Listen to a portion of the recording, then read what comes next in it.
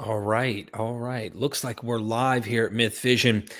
Uh, you know, it's a sad day when knowledge and free speech are silenced. As a secular scholar was recently fired for showing artwork depicting Muhammad.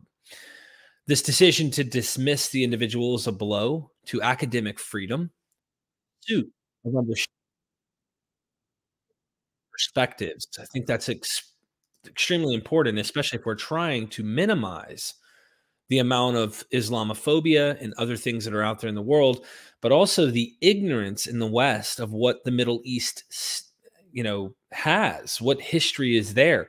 In fact, I recently interviewed uh, Dr. Reuven Firestone, and in his book, he mentions how the West sees the Middle East and pretty much Southeast Asia, this region from Palestine, Israel, down to Egypt, Arabia, as this mysterious place like we don't really understand it. And of course, the way most people, I would say, in the West understand it is through the caricatures, the stereotypes, and other such things.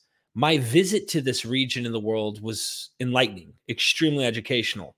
So instead of shying away from difficult, nuanced conversations, we should strive to have them in a respectful and open minded manner.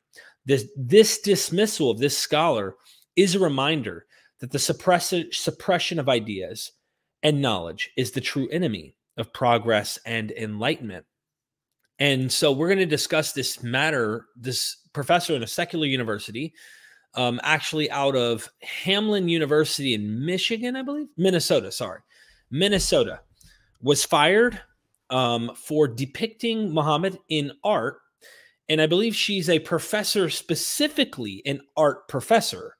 So if you're going to educate people uh, of different art through different cultures in different periods of time, you know, you would think maybe there's a chance we could bring this up. And this isn't like a religious private institution that is like specifically Muslim or something.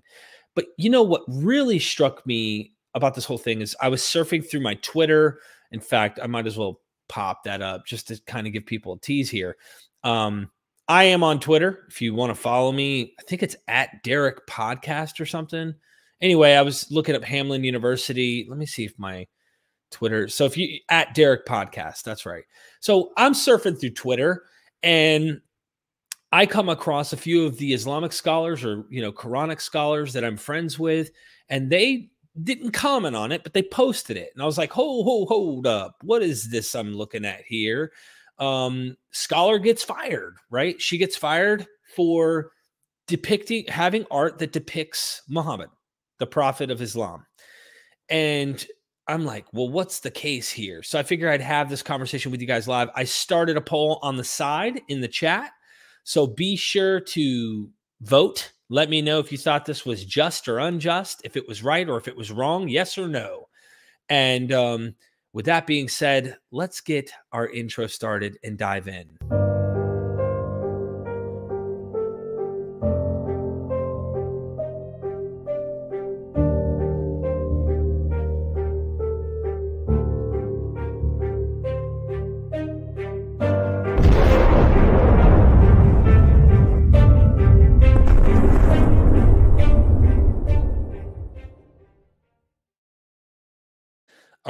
Right, there it is. Shortened intro. Welcome back to MythVision. We're talking about a controversial subject right now in terms of should this professor have been fired for depicting Muhammad in an art class where she warns people, "Hey, if this offends you, you know, don't don't be present for this." Um, and the interesting thing for those who are tuning in. I'm sure we'll have some Muslim friends joining us in the chat in the chat. Um, and you'll hear differences among Muslims. In fact, that's the point of what I'm going to be reading you in just a second. But the interesting thing about this piece of art is it's not art that was produced by Salman Rushdie. This is not art produced by an anti religious, other worldview. I can't wait to debunk Islam, or I can't wait to debunk Christianity, or I can't wait to debunk Judaism, or any debunking platform or, or region of the world.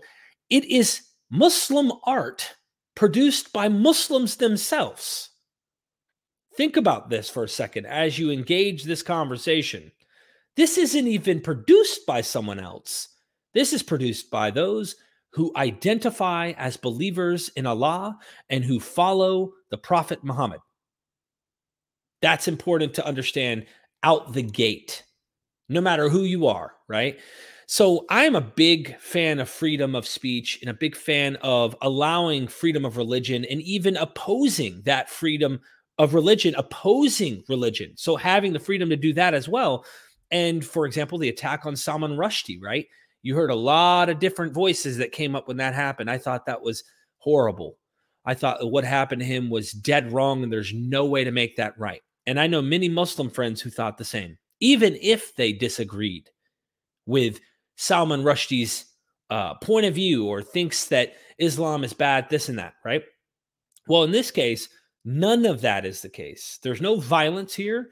You have an educational platform in a secular university right? Which is not even a religious university that is supposed to push a certain view. But let's try and play a little back and forth here for a second. Because after 9 11, serious stereotypes and caricatures of Muslims goes all over. If you're a Muslim, you're going to blow yourself up. You're going to do this, you're going to do that. Extremely controversial stuff. I mean, everyone who ends up wearing a turban or a hijab or is going to a mosque or something like, are they secretly conspiring are they in connection with Al Qaeda?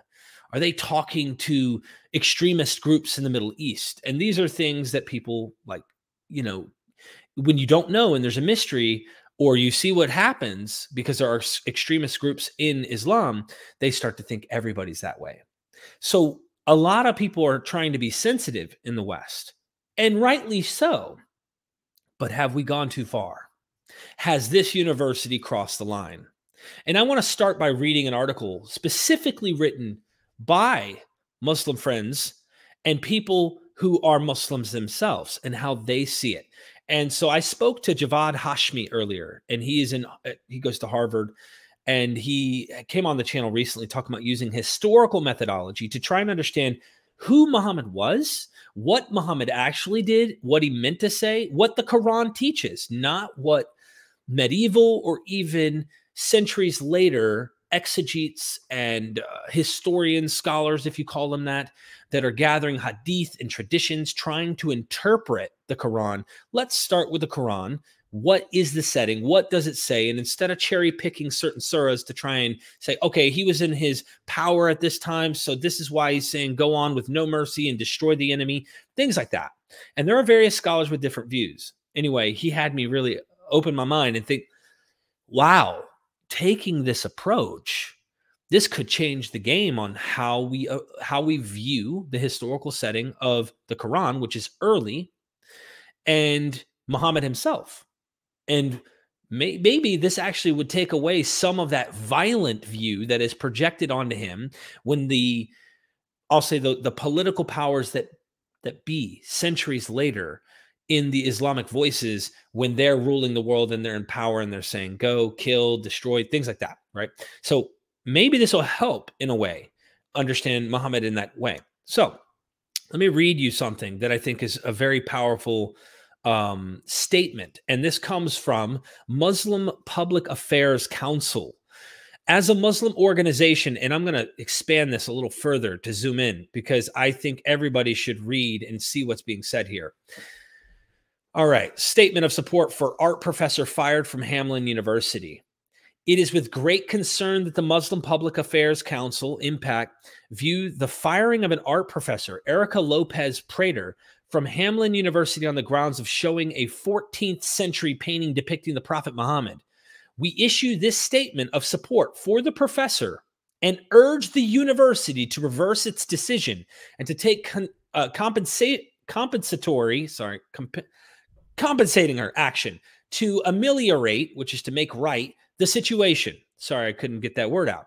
News sources report that the matter reached the university administration after a Muslim student complained to them about the professor showing the image in class. Subsequently, undergraduate students at the university received an email from the administration declaring the incident to be undeniably inconsiderate, disrespectful, and Islamophobic. Because the professor was hired as an adjunct, her contract was not renewed and she was effectively fired. As a Muslim organization, we recognize the validity and ubiquity of an Islamic viewpoint that discourages or forbids any depictions of the Prophet, especially if done in a distasteful or disrespectful manner. However, we also recognize the historical reality that other viewpoints have existed and that there have been some Muslims, including and especially Shiite Muslims, who have felt no qualms no qualms in pictorially representing the prophet, although often veiling his face out of respect. All this is a testament to the great internal diversity within the Islamic tradition, which should be celebrated.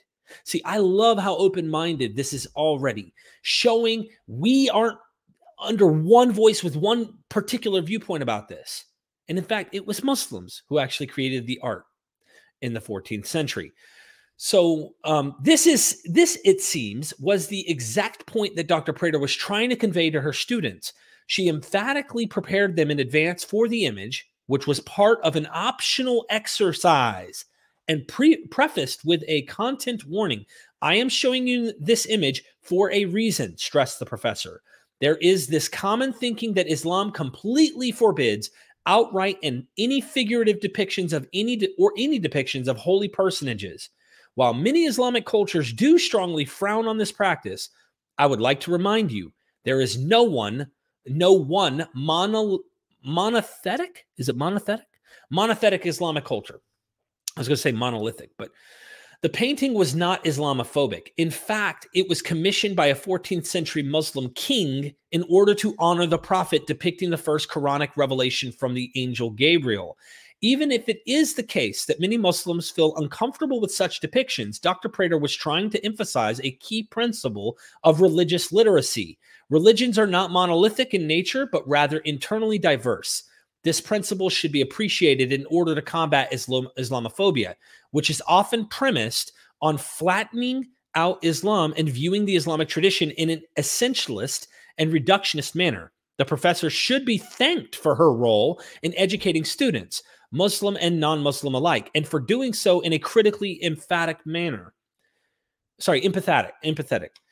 In a time of rampant Islamophobia, highly offensive and racialized images of the Prophet Muhammad abound on the internet and on social media. We consider these images to be inappropriate and not dissimilar to blackface or anti Semitic cartoons. Even if such images and their makers are protected by law, social opprobrium is due to them by all those who are uh, reasonable and decent. As Muslims, of course, we must respond in a calm and graceful manner as been as befits our religion. The servants of the compassionate are those who walk humbly upon the earth, and when the ignorant address them with insulting words, they respond, Peace.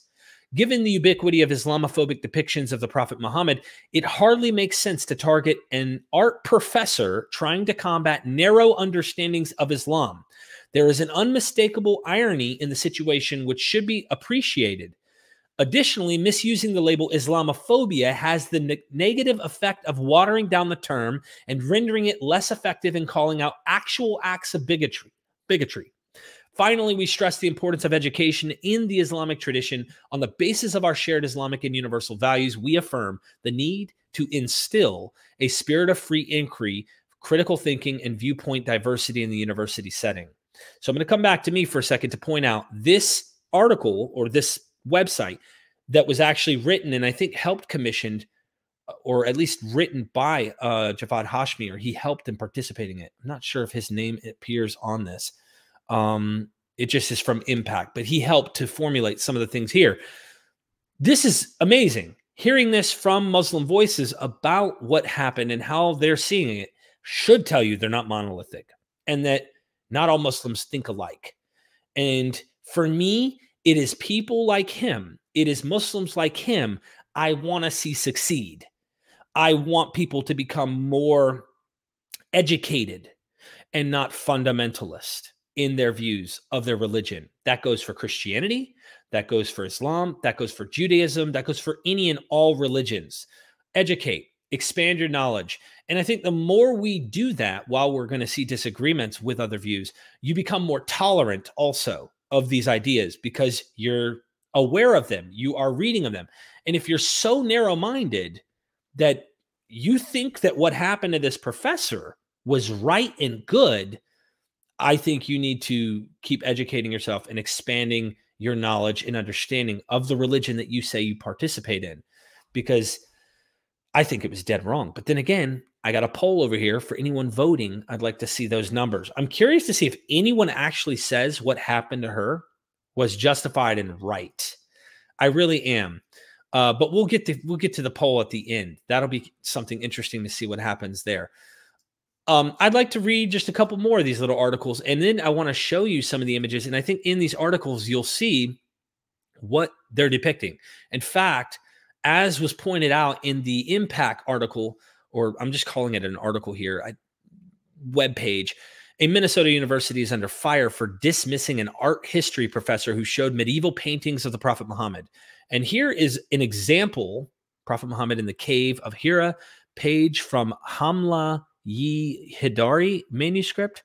So that's in 1725, Asian Art Museum of San Francisco. And notice that his face is covered. So there's an example of, I guess you could use the term kosher art, right? Uh, this is this is actually good or okay for some, but for many, whoo, you're getting close. You're getting close. Don't do that. You're not allowed to do that. And then um, here's another one. You can see he's no face. They made sure they deface them. And it looks like they went a step further in this picture here to deface what looks like the, I would imagine, the immediately fo- the immediate followers of the Prophet Muhammad. So I don't know if Ali's here, Umar, um, you know, who the uh, I'm trying to think. My brain's mush. The early leaders, there's like three or four of them in particular and uh, I can't think. So maybe the audience can help me out here. Coming to you, make sure help me out here. What am I trying to say? The first four caliphs is it? I think that's the proper word for them. I'm looking here, seeing if you guys can help me out. What it says properly censored so we don't see 10% of the picture. I'm looking, nobody's writing unless my thing's not updating. Abubakar, yep, I see that. I see you down here, Vin. Yeah. Smash that like button and support the stream, y'all. That's right. Appreciate that. Seriously, appreciate the love. Appreciate it. If you have any super chats, feel free to hit me on them, and I'd be happy to, you know, address those or bring them up or even whatever you have. It doesn't have to be on the topic specifically here, but I really do appreciate it. I did want to cover this because I think this is an important one. Here's the one that really I put on the thumbnail. I cut out the part where you see the angel Gabriel and Muhammad. Um, let's see if we could zoom in so you can actually see this better. So here you can actually see a depiction where they don't deface it. That's really, really interesting. And I like art. I like seeing depictions of Jesus and other religious art. I love learning about how artistic and the imagination is of people. Of course, this isn't what he would look like. Most likely, you'd see him and be like, whoa, but this is, you imagine even the region in which this may have been created, the influence of that culture and how people looked at the time. What, what do we see happen with European art of Jesus? The dude looks European. he comes out looking like a white guy. Um, so I imagine you might see that even with Asian art depicting Muhammad and the early followers when they do make paintings, you see a reflection of people. They're they're perceived. It's like that ancient. Uh, what was the name of the philosopher who said that if horses had gods, their gods would look like horses, and if dogs had gods, their their gods would look like dogs. Well, through the reflection of the art here, we're seeing kind of a cultural. You can look and see, okay, are they from Asia? Is there some Asian perspective here on drawing, you know, Muhammad? So uh, this is the article. I put this down in the description. Again, another piece of art where his face is not visible, but they do depict Muhammad.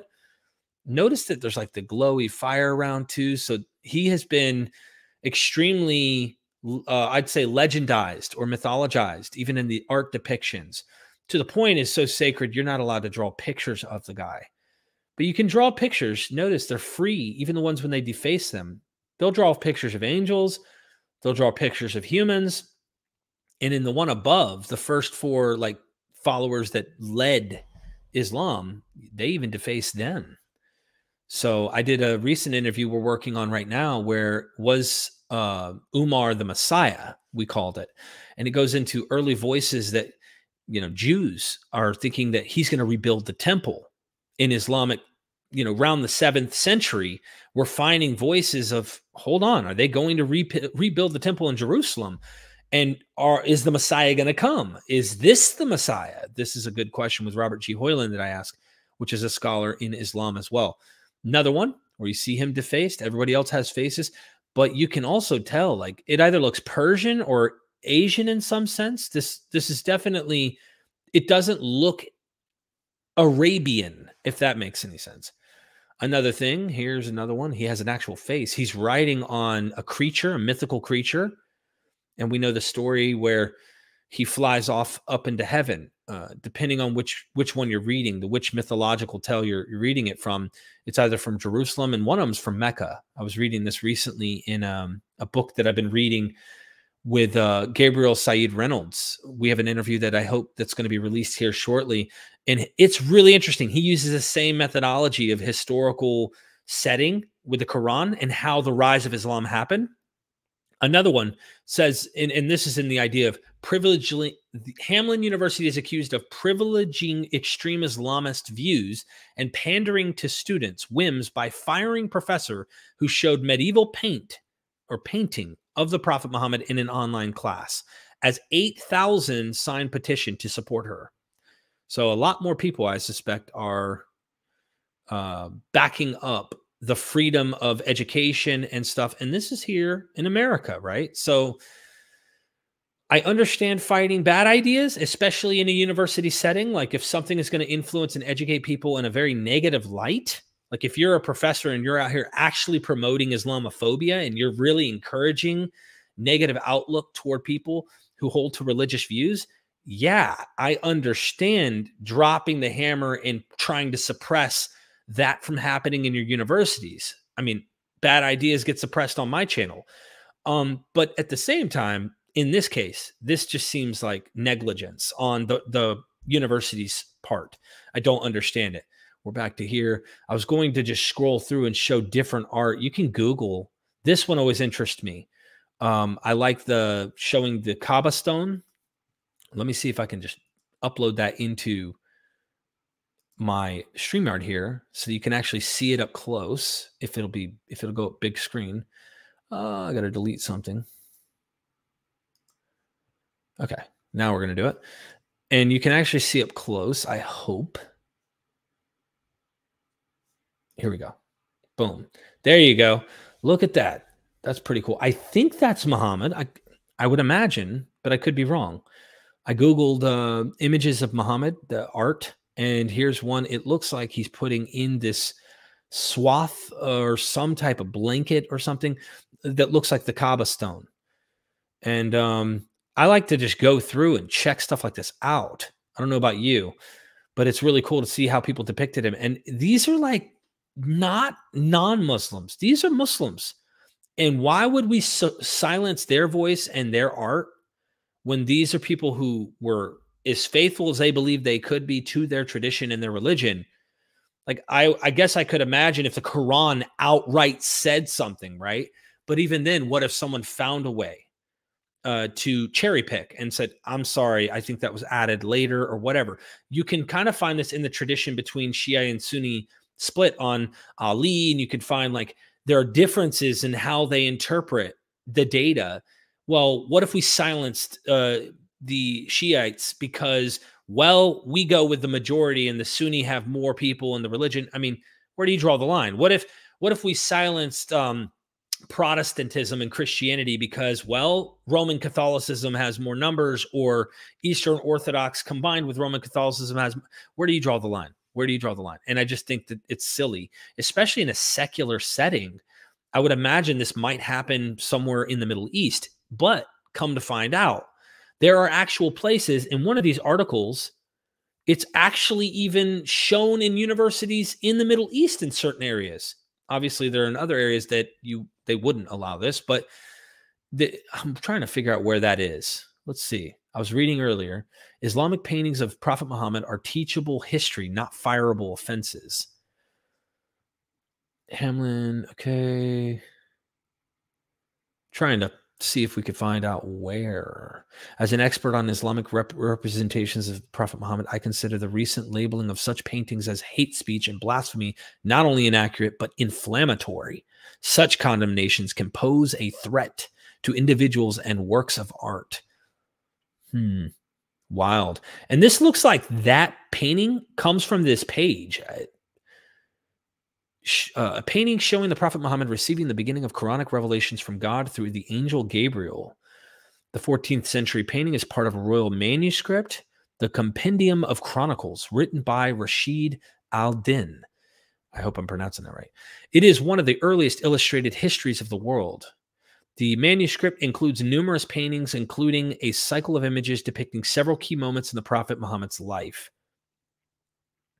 Hmm. Second image made in Ottoman lands in 1595 to 1596 is part of a six volume biography of the Prophet. Over 800 paintings in this manuscript um, depict major moments in Muhammad's life from his birth to his death.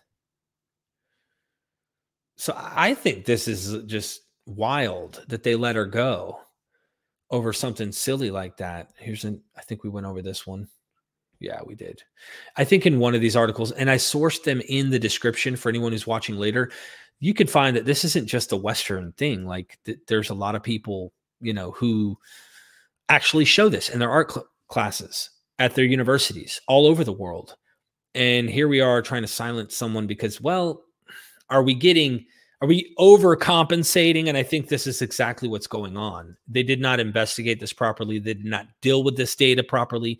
Like I could imagine if a professor's out here like making inflammatory remarks toward Muslims and then showing the face and then going above and beyond in a professor setting. People have, like the article said, uh, I really highly recommend if you're going to read one of these, Muslim Public Affairs Council, MPAC. Go read this one. This is from the voice of Muslims and understanding. And it's so well written. I really hope that people would understand like they even say we understand the freedom in the laws we get it and people have the right even though we don't encourage and we wish that people didn't do these things like they even recognize western law here but at the same time if this were something in a educational setting that it was something inflammatory then you might go oh okay okay obviously i would be opposed to an academic trying to teach in a setting like this, which encourages negative perceptions of people, right? And that's usually what happens. Like if I can go and show you critical things about the religion, which I do all the time, I'll show you stuff that I think is wrong about religion, about Christianity, Judaism, the Hebrew Bible, even in Islam, we could find the voices and go, hey, but you know what's funny? I'm finding this out more and more. I can go to Christian academics who are not conservative, right? Who are very critical and they would be happy to probably point out issues that they might find with Paul's teachings. They would disagree with things that Paul might say, and they say they're Christians. They would say they disagree with this or that. And I could go exactly to the same thing with probably Javad Hashmi, who is in a Muslim, who's also an academic, and he's, you know, written his PhD, all of this stuff, and have him come on, and he would tell you in early Muslim sources, this is how I, you know, definitely disagree with how Muslims have taught things and here's how blah blah blah blah blah and be critical of it um at the same time maybe i don't know uh, i wouldn't put words in his mouth but maybe he finds something that he personally thinks is dated in the quran and he goes that's not for all time like this is not something we should practice for all time and i think that the more we educate ourselves the more people can realize hey we don't need to do that just because muhammad did that or we don't need to do that because the text in the Quran says this. This is a dated manuscript for a certain period of time. And some of these things we don't practice. Now, if it's a moral teaching and it's teaching us and guiding us to do something good or whatever, we'll follow that. And I encourage people to do that. I encourage people to do that.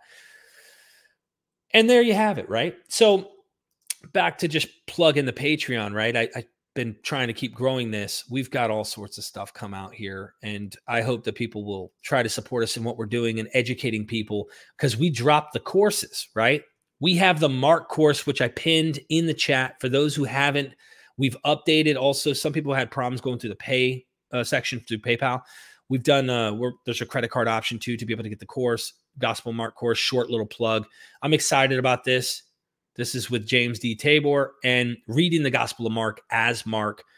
This is all in 4K. I interviewed it at his office in Charlotte, North Carolina, before I moved to Washington State.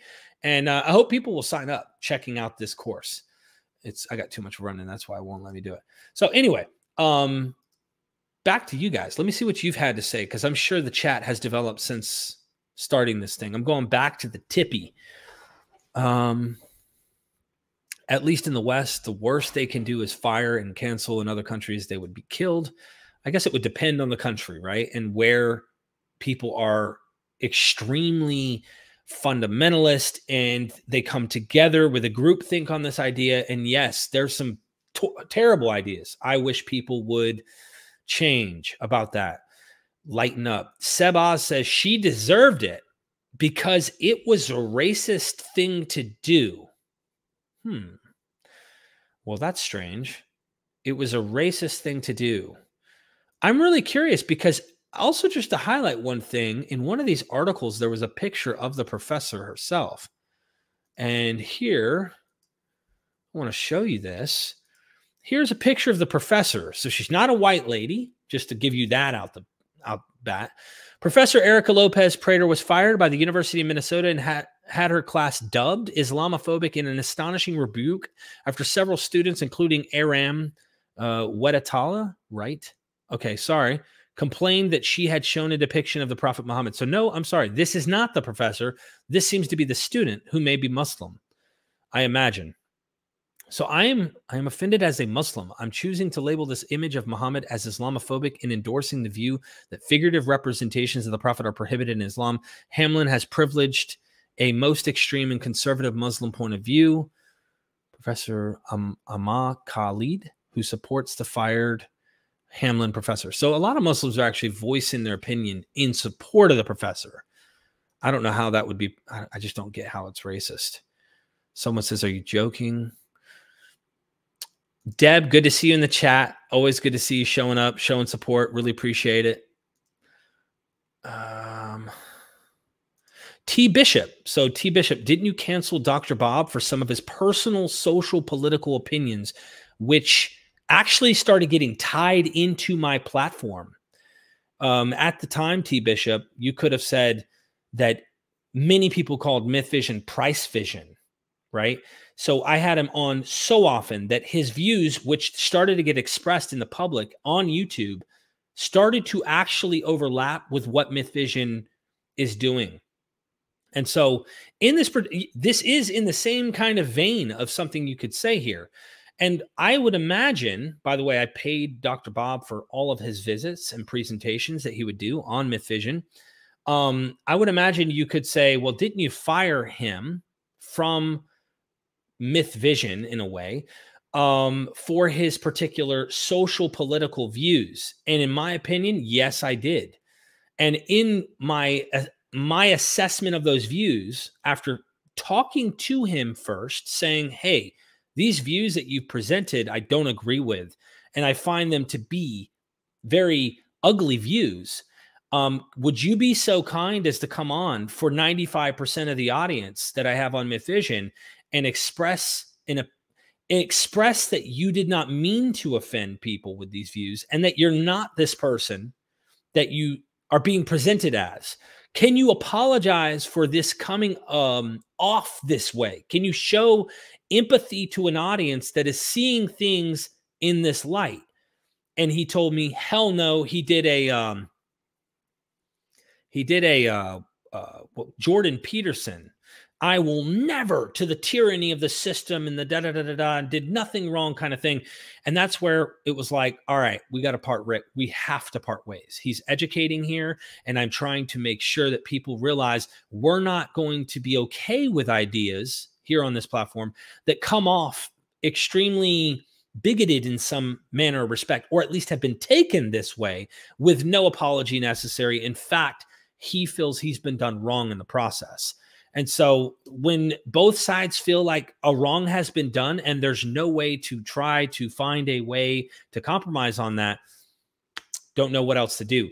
In the case of this professor, there was no let's talk about this. Let's let maybe we should mitigate or find a way to try and take away from the art that might be in this class like let's let's be very careful about this or whatever. No. And in fact, many Muslims support the view of presenting it, even if they disagree with themselves depicting it. Like, hey, it's in your setting here. You're trying to educate people on the cultures, things like that. So, anyway, T Bishop, I see you from time to time in the chat. I figure I'd address that because it is in a similar vein. And I am for freedom of speech and allowing people to have freedom to express their ideas. However, uh, there is nowhere, as I've heard Vaush say one time, I watch Vaush on YouTube, who gets into the political arena a lot more than I will ever. And he pointed out there is nowhere in any setting ever where anyone's ever been able to just freely express any and all ideas without certain limitations. And I think that that's true as well. So I am obviously um, in support of what this professor was doing. And I'm also hoping that the reversal of this happens with the academic setting. For me, I'm taking it to kind of point out, like with Bob Price, I love Bob, and me and him have actually made up in email correspondence. We communicate from time to time. However, in order for me to want to platform and have that be something that I'd bring back, I would need some some kind of apology, some kind of showing an empathy to the audience. Instead, doubling down and showing no empathy um, is what I've seen, and that doesn't mean there can't be a change. A lot of time has passed since that's happened, but um, you you got to express some type of sensitivity to people that we're communicating with. I'm not Pine Creek Doug. I care what people think and I care how people feel. I'm not dead inside, as he uses the words himself. Sobex in the house. Good to see you. Melody Joy. Good to see you here. Dalai Lama in the house. This is what you get when religious insanity is tolerated, Lilith says. I think I wouldn't call it that. I wouldn't I wouldn't call it religious insanity. I would say I guess there's a lot of factors in this. I can't you can't put it onto just one thing. In light of what happened in 9/11, like I said at the beginning of this, there has been tons of hate, if you will, towards Muslims in America due to it.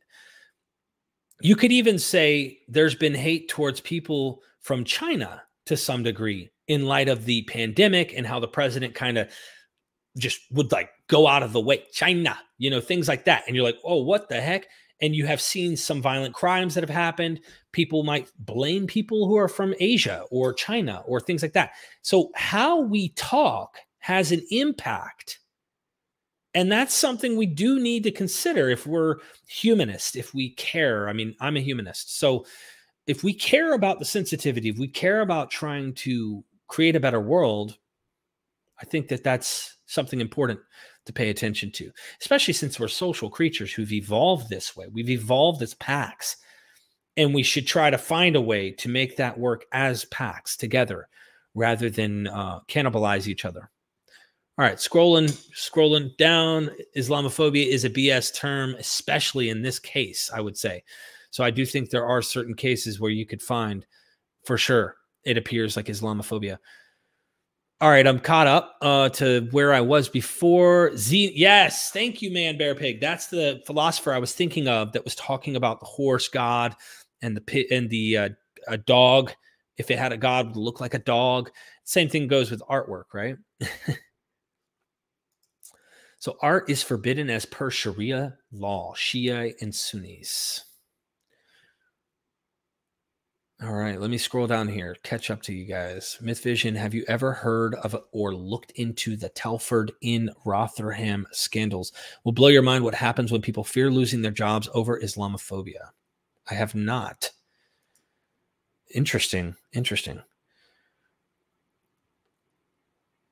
Okay, so Drockner's Ford says at least within the first two centuries, some Muslims had a prohibition on images. And look, if they were if they lift that prohibition, cool.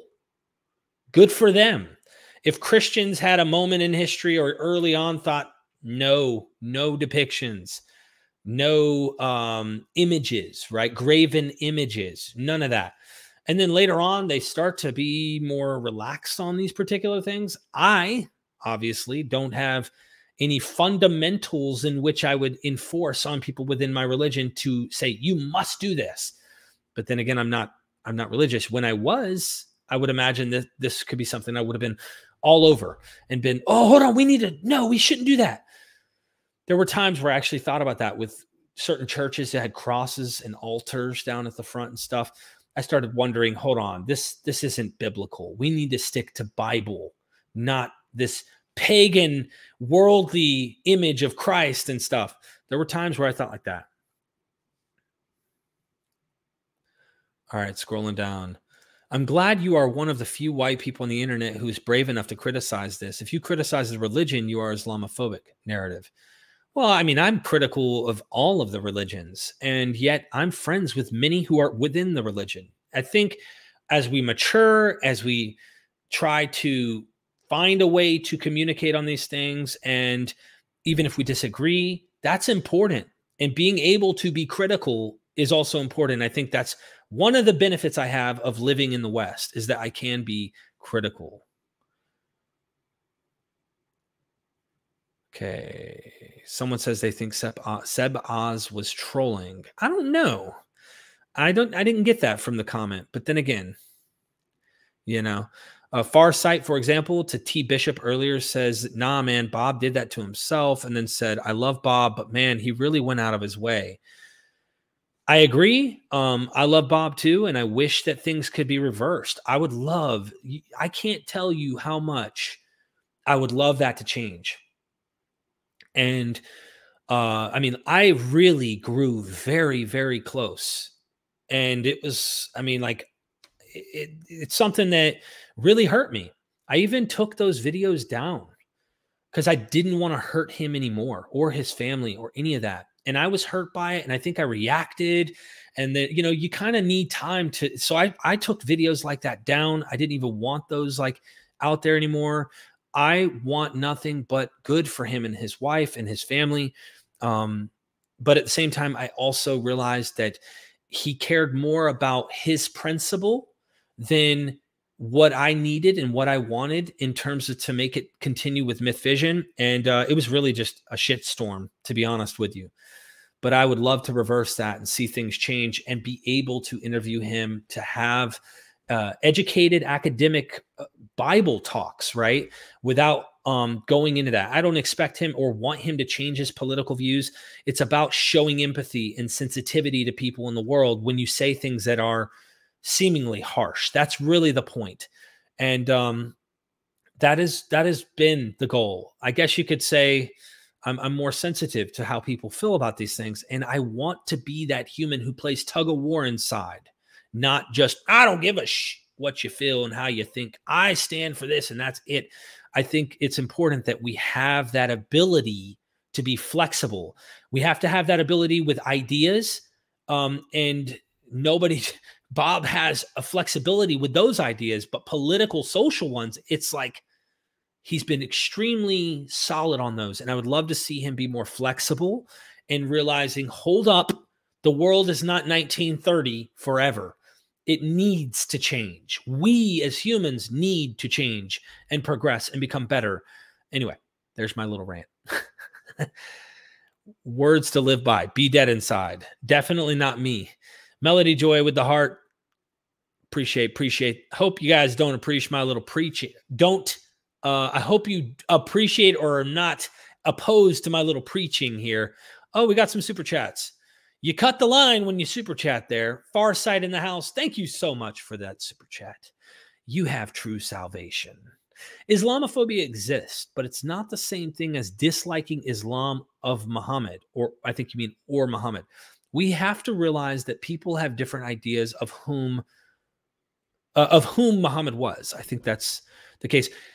Farsight, I agree. I think it's in, being sensitive is important as we approach this information. Understanding and being aware of of a bigger picture takes maturity. But I also want to say that if you read about Muhammad from later exegetes and scholars and how they depict him, you read hadith, you read about certain biogra- biographies that talk about Muhammad and what he did, and you make a judgment moral call about those actions. You're not wrong in making certain judgment calls. But this is why I, I'm bringing in this caveat, right? I think you could follow along and everybody watching can. When I was interviewing Javad Hashmi, he brought in historical methodology. And he said, actually, we shouldn't just trust because exegetes said or certain well-known famous uh, scholars in islam say this is what muhammad said this is what muhammad did this is how and they start to depict certain historical settings later trying to put the quran in this setting we need to understand these people have their own personal time bias culture they're in an empire they have they want muhammad to look like them so we should be very careful on what Muhammad himself actually did. This is the skill of being able to be scholarly and depict it this way. This is where it gets interesting, right? Let's take it off of Islam. Let's take it off of Muhammad for a moment. Let's go to Jesus. I have been known to criticize. You all know I criticize Christianity. I am extremely critical and I'm all about this and that. And I think Jesus was an apocalyptic rabbi type Jewish preacher who may have had some good things, but then there's some things I'm like, mm, we don't need to do that. Let's not do that. If you grant that Jesus said that. So I had Dr. Dennis R. MacDonald in my house recently, we recorded a course with his mimesis showing the Gospels borrowed from Greek and the Bible, right? We're going through a 19 lecture course. That'll come out as time goes by and I edit it and all that. You're going to want to check it out, I promise. But then I did side interviews with him, and he told me what happened in his personal testimony of his life. He was a Christian, he was a radical fundamentalist. Then he saw the most racist things he's ever seen in an evangelical Christian college that he was a part of, and he had to leave. When Martin Luther King Jr. died, they claimed he was an apostate. They would not put the flag at half mast and would not have a moment of silence for him. And all of this stuff happened. And he was like, hell no. But through his journey, he pointed out he started to get critical and study the Bible. He went to Harvard University. He went to, you know, all sorts of different places. And he found out that the Gospels have so much legend that his assessment of Q and trying to assess the historical Jesus, that Jesus was actually very liberal in his Jewish community. He stood for things that weren't strict Torah observance like Moses. You know, with the, the pericope adulterae, the woman who committed adultery or committed fornication or committed a sexual sin, all these you know, Jewish figures are picking up stones ready to kill him, kill this girl. And they go, Should we not stone her? And Jesus is writing in the sand. And anyway, that's late in the Gospel of John. His assessment going back through the synoptics, he thinks there was something to it. And his point was Jesus was lifting this strict Jewish observance. So he found this kind of Jesus, historical Jesus that he thinks was against that strictness. Sure, date you could say there's plenty of dated things about jesus but the point is is he found a jesus that wasn't depicted by gospels or even later church fathers and such that looked even better than what he gets depicted as in certain settings.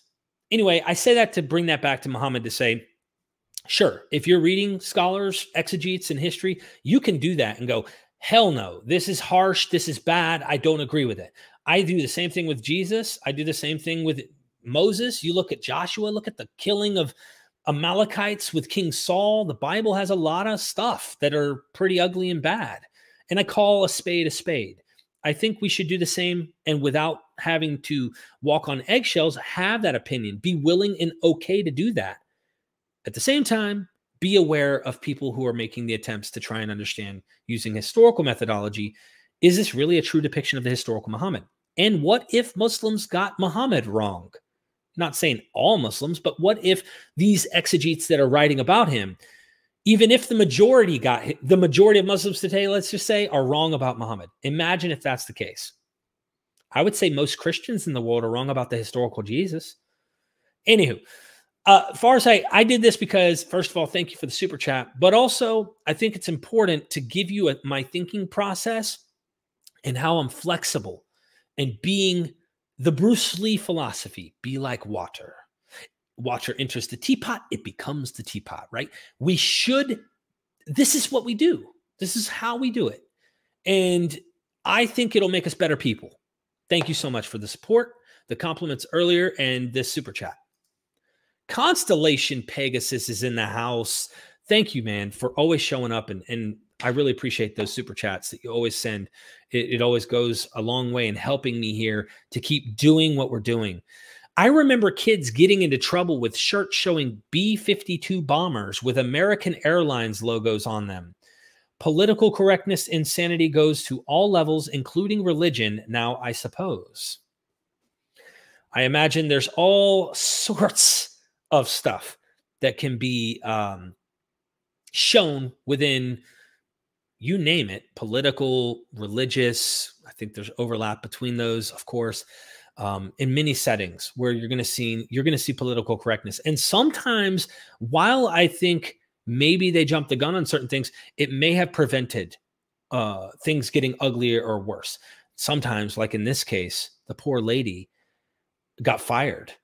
And I think that that's just over the top, it, way over the top. It's not like she's out here trying to do something negative or bad, right? She's not trying to hurt anybody in, in, in an academic setting. Good to see you here. Thank you so much. Uh, the Muslim apologist. Depictions of any prophet in Islam is considered as blasphemy. So um, you brought the super chat up, and I'm glad that you actually brought this as a Muslim apologist. And my question is then why did so many Muslims depict art of Muhammad and thought that they were okay in doing so? I'm curious to get your answer on that. All of this art that she's depicted is not drawn by Westerners who have some bias against Islam or are trying to be antagonistic toward Islam and Muslims. Like this was art that was drawn by Muslims who were absolutely fine with depicting Muhammad.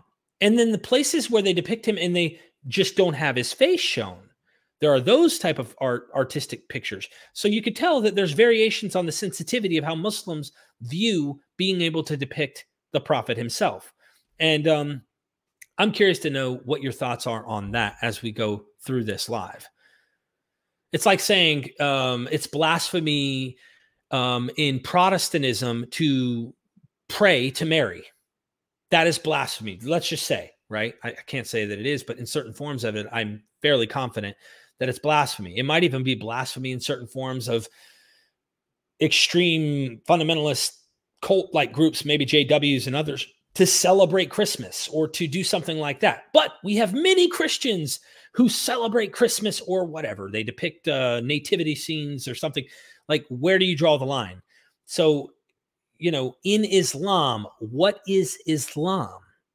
Is it monolithic? Is it your definition? And therefore, everyone needs to fall in line with your category and understanding of this.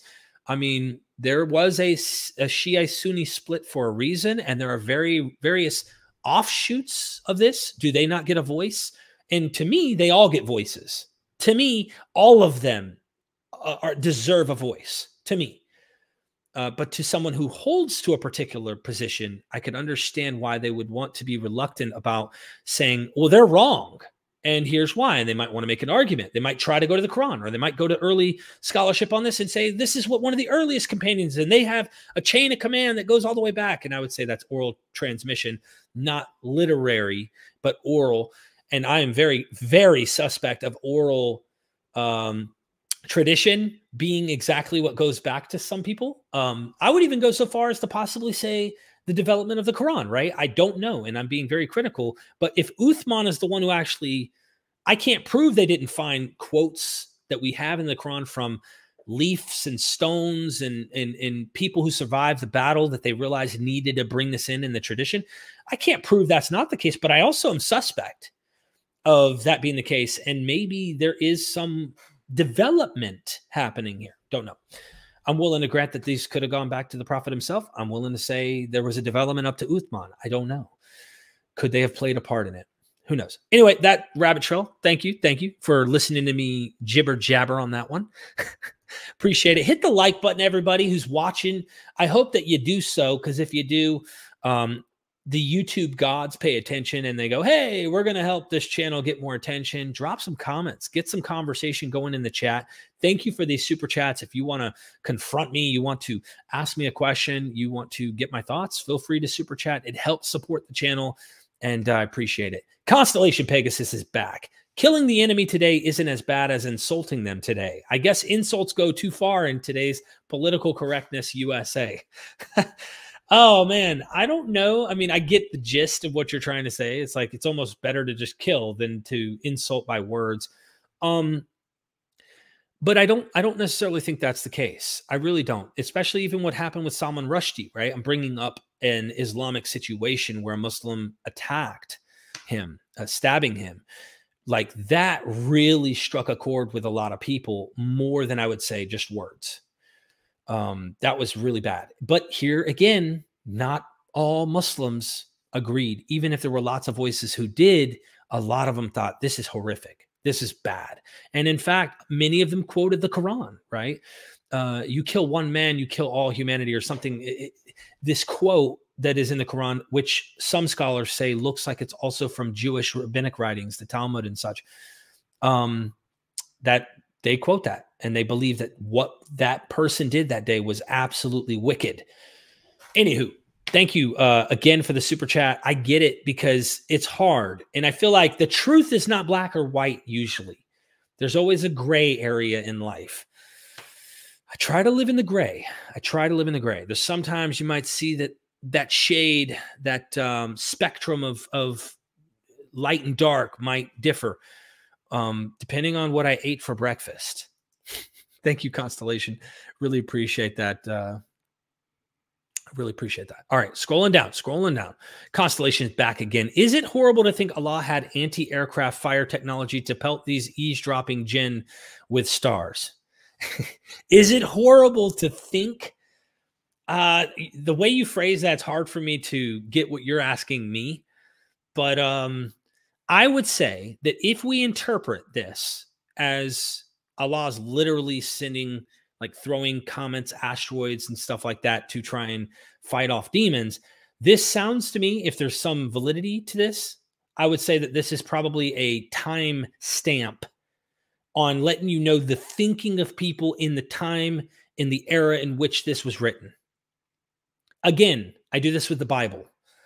I have not done a deep dive on this. I'd be I'd be curious to know what pre-Islamic Arabia says about jinn or uh, this idea of God trying to pelt jinn or something. Is there anything in the literature can we know to help understand what this is? And is this something that we could say that's a seventh century idea that God is the, these things running across the sky? We call them asteroids and comets and things like that, um, shooting stars are actually God trying to pelt jinn? Don't know. I've heard some people try to allegorize, which is a common thing we find in biblical studies. You find something, oh, God didn't mean that, or this didn't mean that. Jordan Peterson does this a lot. Jordan Peterson, and this is why I did my video critiquing him. I'm not against people trying to allegorize. It, I think it moves in a better direction. It defangs fundamentalism, which is very important because it's a literal interpretation. But um, there's a moment in which you go so far, your brain falls out. And someone like Jordan Peterson, who has a very staunch, hard, objective morality view, objective truth, this kind of view, he really sounds not very objective when it comes to interpretation of anything. It's so vague and esoteric and meta narrative, meta, meta, meta that it's like where I don't get the objective here. And I've even said in that episode when he might even read a passage where the Amalekites, Yahweh commands King David to kill every man, woman, and child of the Amalekites, leave nothing alive, including the cattle, the livestock, you name it. He doesn't fulfill that wish, and he ends up getting demoted from being a king. and I think it was Prophet Samuel that was alive at the time, according to the text, who comes and he's like, Whoa, I hear this, and you got the king over here, and you didn't kill all the cattle. Oh, I'm going to sacrifice the cattle to Yahweh. He did not tell you to do that. Boom, revoking your kingship. I imagine Jordan Peterson would come and go, See, what was meant, what really was meant was when Allah was going to throw these stars, actually, what this meant is that there's a constant battle between good and evil within the world we live in. And I'm making the analogy there's this battle between good and evil. The Amalekites represent the internal struggle of the of the mind and the man woman and child is in all of us and like you can see how i'm quickly divorcing the context and the meaning of the text to make it mean whatever i want then turn around and talk about how objective i am about this or that and i find that weird switch that comes on and off in people's minds it's just something we all do, I guess. We find something, we go, "Ooh, let's let's defend this as best we can to mean something else." However, I could be wrong on what this means. I haven't done a deep dive constellation, but I would maybe I know I will at some point. Maybe I'll consider doing that and jumping into that. Thank you again for that super chat. Teresa in the house. Teresa, thank you so much for the super chat. As a former teacher, we tried to make accommodations for students with different views. So, uh, as a former teacher, you're getting people's experience here. We try to make accommodations, and I think that's what this professor tried to do. Who said like you this is optional, you don't have to take this, and then the complaint happened and lost her job. So I, I, I mean, can you imagine if you tried to make accommodations or even fair warnings that hey, in this next episode, if there's any Muslims, because we know it's religiously blasphemy, as a Muslim apologist said earlier, um, in their particular form and version of Islam, they're not okay with that. Like in this next class, th- there are going to be depictions, and this is part of history that Muslims actually discuss. It's almost like no, that's kind of a hard category to bring up. I'm thinking of Nazi Germany and what happened to the Jews. Imagine if that wasn't because it's it's too it's sensitive material that we can't teach about it or something. I think it's important that we teach things that happened in history and and even in a class that isn't about art that you can talk about these things. Um, but yeah, uh, I'm curious to know what the poll looks like at the end, Teresa, on this. And uh, I'm glad that you were teaching and I hope you enjoy not having to teach and enjoy your life as is. But thank you so much for the super chat. Okay, rolling down. The Muslim apologist, again, thank you for that super chat. Those are Shia art and not Sunni Muslims, which have always forbidden such art. Try finding such art in the Sunni Muslim world. They don't exist. That's exactly what I why I mentioned earlier that there are different traditions within what we would call Islam. And what you call Islam is probably different. There's much overlap, I'm sure, between Shia and Sunni. But what you call Islam is not what all Muslims call Islam. And um, I personally, because I deal with religions all day, as you know, you watch my channel, I personally hope that more Muslims become less strict on things like this. That's my, my I, I hope more Muslims feel comfortable producing art, playing music and instruments and coming up with songs, finding ways to be poetic. Because I know that in early, I just read this in Gabriel Said's uh, book, The Emergence of Islam, early traditional, I can't even remember, it's pretty long title. Um, that there is like this polemic against poetry in many ways, and that they believe that jinn or demons are what causes people to be poetic and to write poetry and things like that. And I don't know if, depending on the Muslim you talk to, how they feel about that. I'm a huge fan of music, a huge fan of art, a huge fan of um, being able to be poetic. And um, I guess if your religion is like anti these things, your particular version, I would love to see that change. You know, I really would. I understand that that's how Sunni Muslims think but I personally would love to see that change. I'm not a Muslim. I'm not a Sunni. I get no, uh, my voice means nothing in their community uh, in terms of what I think about that, but that is my thoughts. And I would love to see it become more progressive and adapt and change over time and not think that the only time and the final time of all prophecy in anything that we can really learn the ultimate truth of anything comes from the seventh century.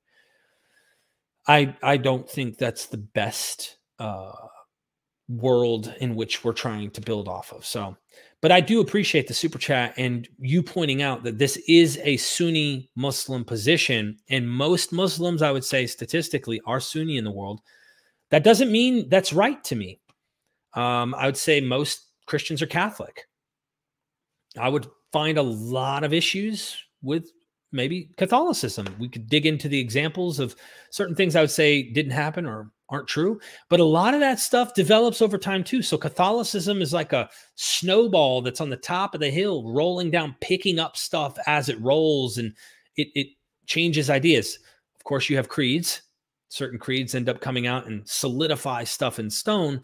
But even today, uh, there's changes happening even within the Catholic Church. So I hope to see that. And I imagine there's changes even in the Islamic world. So it's not like it's completely stagnant and, and staying in the seventh century. There are changes that are happening, I imagine, even in the Sunni Muslim world. Different Sunnis probably have different views about how to view certain things. Not maybe art, I don't know. I haven't talked to all Sunnis on planet Earth, but I'm sure there are ideas in which they're becoming more open and progressive on things. Thank you so much for that. Really appreciate the support and seeing you in this chat. Okay, scrolling down, I know that I got more because it's popping up on the top. It's letting me know that you guys are throwing something at me. The inquisitive mind. Why images on? Is that a moon? That uh, I can't tell what that is. Is that a moons? Moons in Islam countries not offensive. I can't tell what that is. The Ghost of Myth Vision, appreciate your super chat. I can't tell what that is. It looks like it's a moon from my my end, but even when I zoom in, my eyes is playing tricks on me right now. So maybe I can see it as I go down. You guys can chat and let me know what what that what that is. But I don't know if that's because the moon it has a crescent moon symbol on the flag. If that's what you're talking about, excuse me. Thank you so much for that. Paul Kickling in the house. Paul, good to see you here. The West's protection of Islam is pathetic. Muhammad was a psychopath. You just need to read the Quran and hadiths. So, Paul, this is exactly what I was referring to earlier. If you read some of the hadiths, right, and you thought this is historical, this is what Muhammad actually did, then I understand why you would be definitely adamantly against these ideas. And here's the interesting thing some of the things we find in the hadith, many Muslims, friends of mine, are like, eh, nope. And then there are some that the, this hadith is uh, reliable, this one's not. There's a debate even in Muslim communities. But I get where you're coming from. If you see some of these, you know, hadiths, you're going to go, this is bad. This is bad juju. Um, but then there are the Muslims who are like, no, these hadiths aren't good. So I do think that there is a lot of Islamophobia that has happened since 9 11.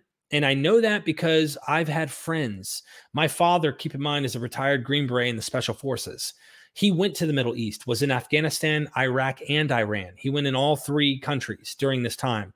He came back, and I know for a fact that the perception of Muslims and, and, and those who are Middle Eastern, you name it, is definitely been triggered from the act of 9 11.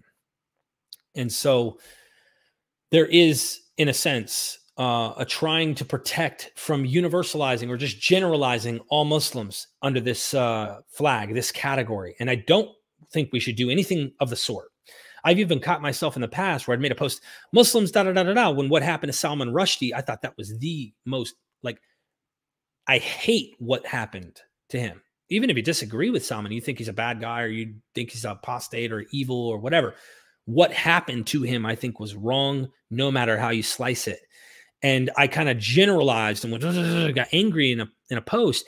And then I had some Muslims saying, We hate what happened to him too. You know, the way you worded that though makes us all look bad and help us out. We are on the same side. We want to fight bad things like that as well. So it's one of those things. But um, in light of what happened to this lady, I don't know what was going in the minds of these people other than they're so sensitive and they're becoming so politically correct here that they just bye, by professor, by Islamophobic. And it's like, are you kidding me? Cut the crap. We need to be very cautious and careful how we're using these terms.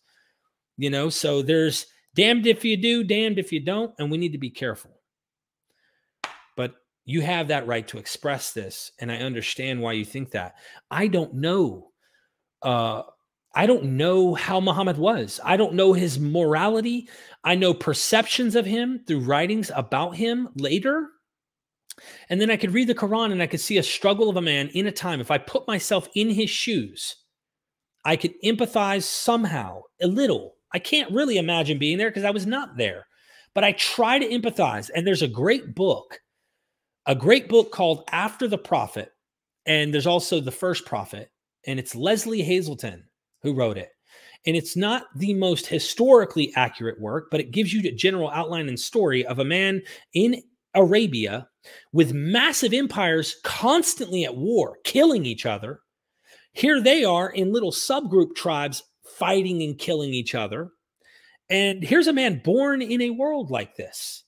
And so I try to understand him in his historical context and try my best not to make moral judgments in his historical context Though, if you try to Im- take the seventh century and plant it here today, I will make moral judgments. So it's um tough. It's a pickle that I'm in, but I really do try to get myself into their shoes. Same with Jesus. And in fact, I hope, I repeat this, people understand me. I seriously hope that our children's children, if we exist in a few centuries, the way we're going, I hope that our children's children are critical of us but also understood we're trying. We don't know. We're, we're, we're not omniscient. We are just doing the best we can as far as we know. And even those who are wrong in some situations, you know, don't stick to their ideas. Do better than us, children. Do better than we did. Learn from our mistakes. Go further. It's it's when religion comes in and says, "This is it." And for all time you must live by this type of thing. That is stuff I am not a fan of. There are certain things, wisdom, you could say, practical application, eh, wise sayings. And if you do wrong to others, you don't want them doing wrong to you. So don't do wrong to others. I feel like that kind of is a permanent, we should stick to that moral ethic, right? That's a good thing. Other things, maybe not so much. So Thank you, Paul. I think you and me probably agree on this too, by the way. I am critical of Islam. I'm critical of Judaism, Christianity, you name it. But there's also a fine line of being careful about hatred at people who believe these things or hatred towards them. You you might even hate Islam. I know atheists that hate Christianity or ex-Christians who hate Christianity. They've been harmed by it. They've been hurt. And I understand that. And I think their voice matters. I really do. But I also hope we can try to mature and find common ground to communicate. And if there's Muslims who are more progressive and they're not coming from the category that you came out of, can we have that conversation? Can we find a common ground? Mm. I, have been repeating this a lot, but I think it's important. Ali, Rowan, good to see you in here. Gate balance analysis, Derek. Technical question to other viewers Does Derek's screen and chats he reads from all appear out of focus while the sidebar for live chats is crystal clear? Um, maybe my screen, maybe my internet's playing games and you're not seeing me clear because maybe my computer isn't quite coming through the way that it should. Am I coming through fuzzy or are you seeing me clearly? I hope I'm coming through somewhat clear. Mar, good to see you here. Develden, intellectually mature adults must have safe discussion space to decide what probably happened in the blurry past. I may be offended by some religious ideas. I am not significantly harmed by them. Thank you. Appreciate the support, being a member, a Patreon. By the way, Margaret, I meant to write you. I have interviews that I did with Richard Carrier while he was here at the house that I'm going to be putting up on Patreon at some point. And uh, your question was asked, so those are in 4K. I really appreciate you showing up and supporting here. Um, yeah, I think we need to mature, and we need to have those safe. Con- we need to have conversations that allow us to understand each other better. For example, if you go onto many apologetic Christian anti-Islam channels, you're going to get mostly a single narrative about Islam and a painted picture, which is four stages of jihad, if you will, that has been developed inside of Islam. And those four stages are when Muhammad was in Mecca and he didn't have power, he was persecuted, and so were the believers. You can find this in the Quran, at least hints of it, that he was persecuted, that they're being critical of him. He didn't do anything to attack or fight or anything like that. Later in the Medinan passages, as is painted in some scholars in the West, even take this position. This is why you see this narrative because early exegetes, I'm not going to say early, early, 150, 200, 250 years after the Quran, after Muhammad's life, I'll say, let not say the Quran, but after Muhammad's life, they're depicting this idea that once he got in power and political power in um, Medinan territory, he then goes pick up the sword, fight them wherever you find them, these kind of things. And this is typically the one picked up by anti-Islamist uh, Islamic people. Um, this is the narrative that is presented by them. Whereas you might find a softer approach because it's not that clear cut on what actually happened with Muhammad using historical methodology. It's tough. What do we want? Do we, so I want that conversation. And I think many Muslims like Javad Hashmi, and I brought him up a lot during this interview because he also wrote the article, and I recently interviewed him um, about a statement from Impact, MPAC. It's in the description. Again, just to show everybody, this right here is the article. And Muslims are not monolithic and they don't think the same thing. And in his case, he does not agree with the voices of these exegetes about Muhammad and what he did using historical methodology. It's not like he just doesn't like it and he just wants to throw it away. There, he makes a case historically why those Muslims would have said that about the prophet because they were at an advantage of power in a situation where that would have been something they wanted the prophet to do. It's interesting. Margaret, thank you so much for that support. Good to see you in the chat. Seriously, appreciate that. Humanist Reformation in the house. Thank you again. Wow, $20 super chat. Really appreciate that. Religions of all kinds have no right to tell the rest of us we need to follow their rules. This is good. I, appre- I, I agree with this. Why do religions all need the rest of us to follow their beliefs? Ridiculous.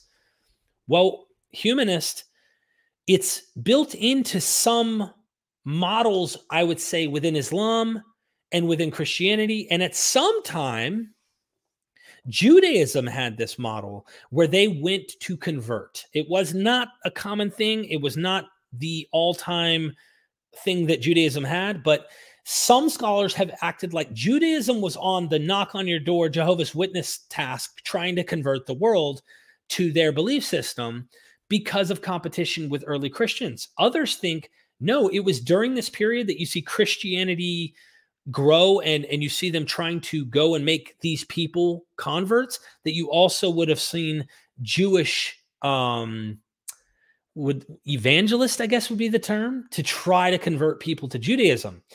Um it's not for all time because oftentimes there's a conversion process and you're not really a child of Abraham depending on the Jew that you read uh, within rabbinic literature and Jewish literature you name it.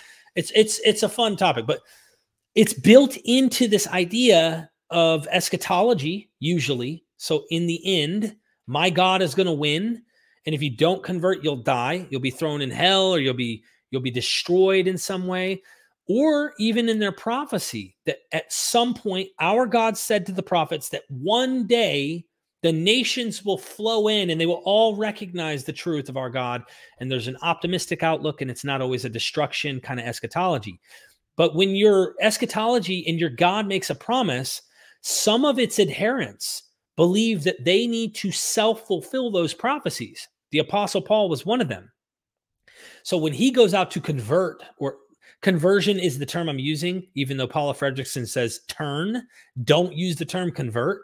To turn them from their idols, if you're a pagan or a Gentile or whatever, and to turn Jews who are off astray to the truth of Jesus being the Messiah.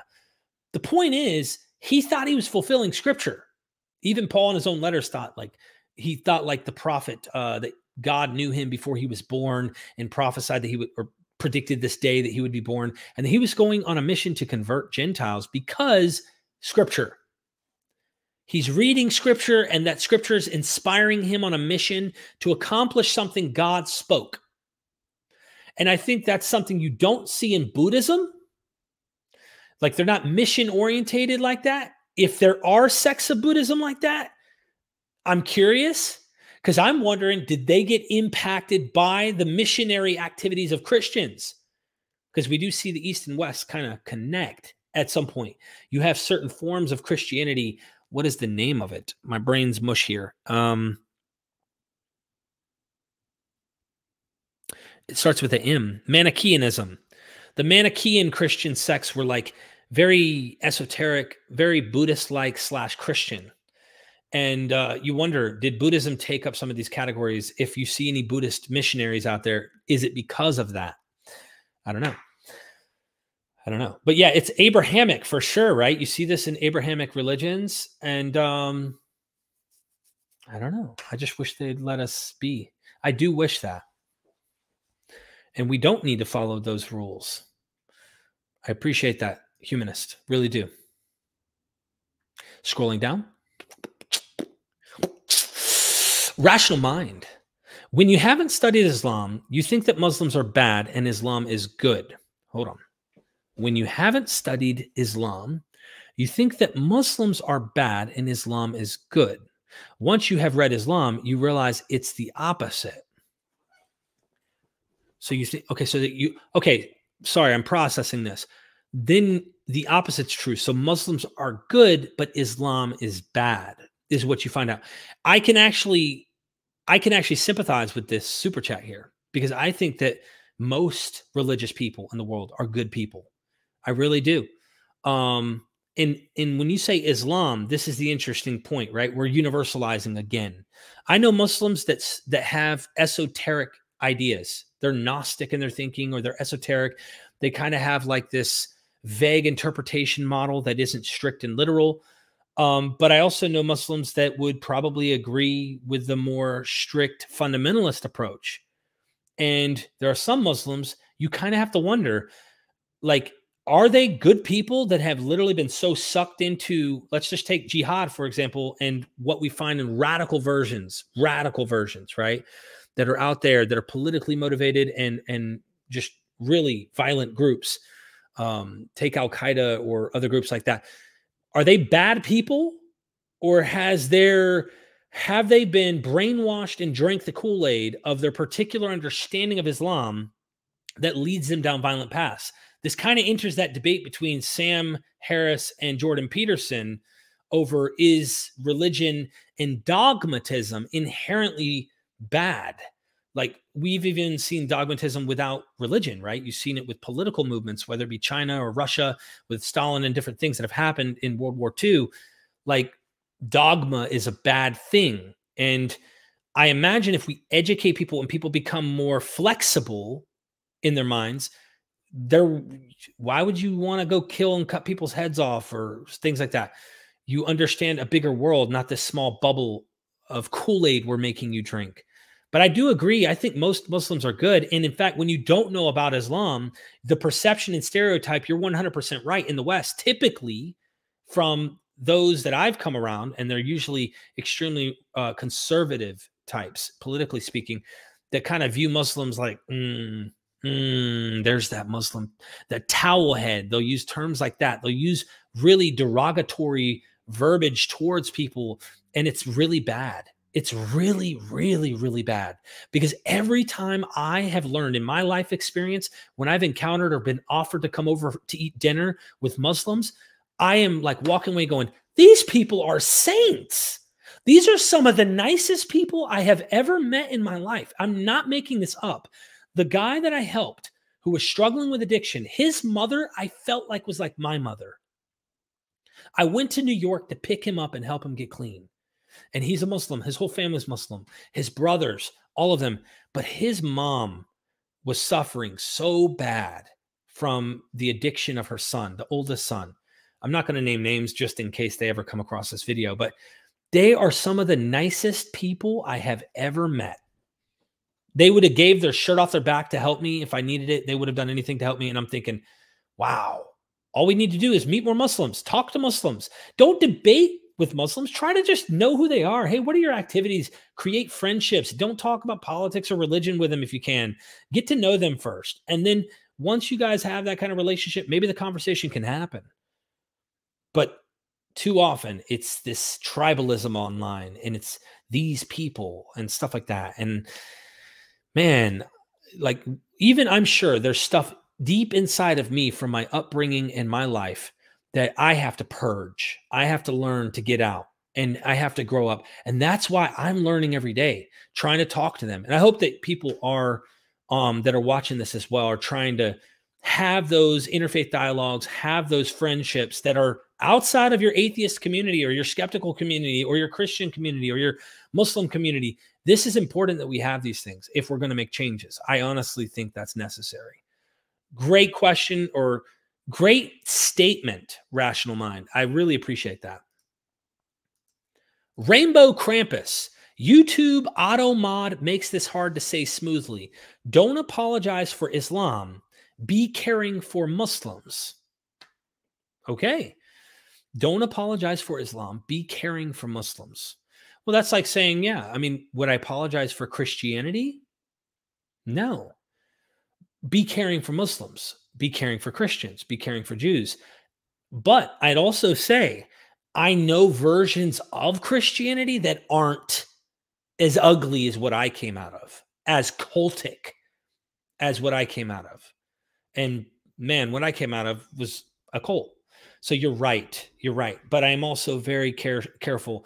Do I need to add the caveat? Well, there are forms of Islam or well, there are forms of Christianity. No, but if I'm going to educate properly or try to give the why I think this is necessary, I feel that it's necessary to add that caveat because we assume Islam is monolithic.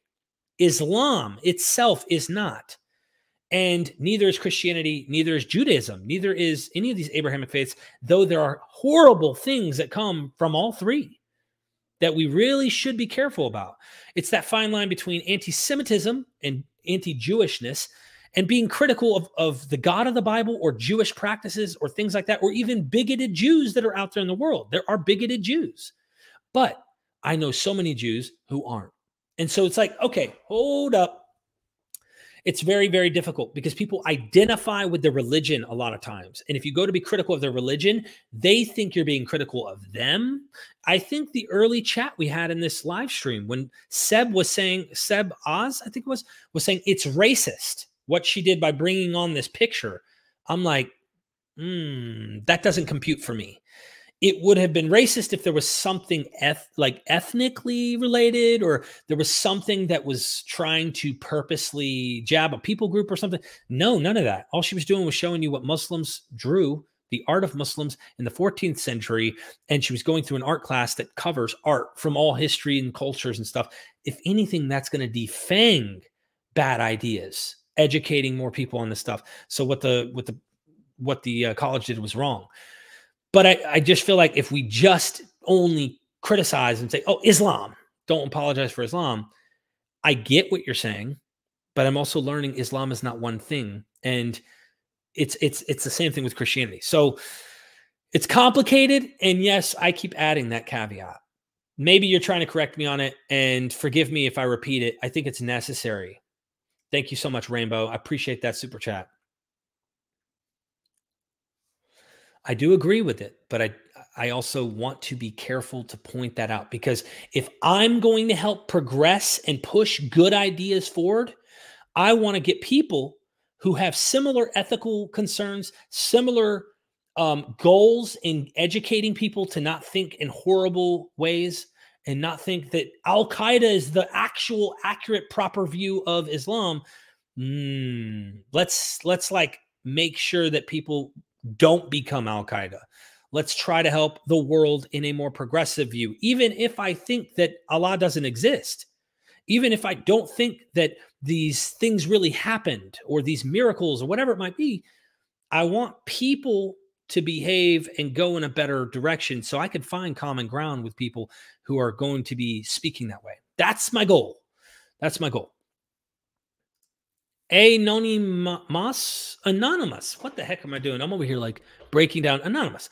Again, good to see you in the chat. Discuss Islam and LGBT rights.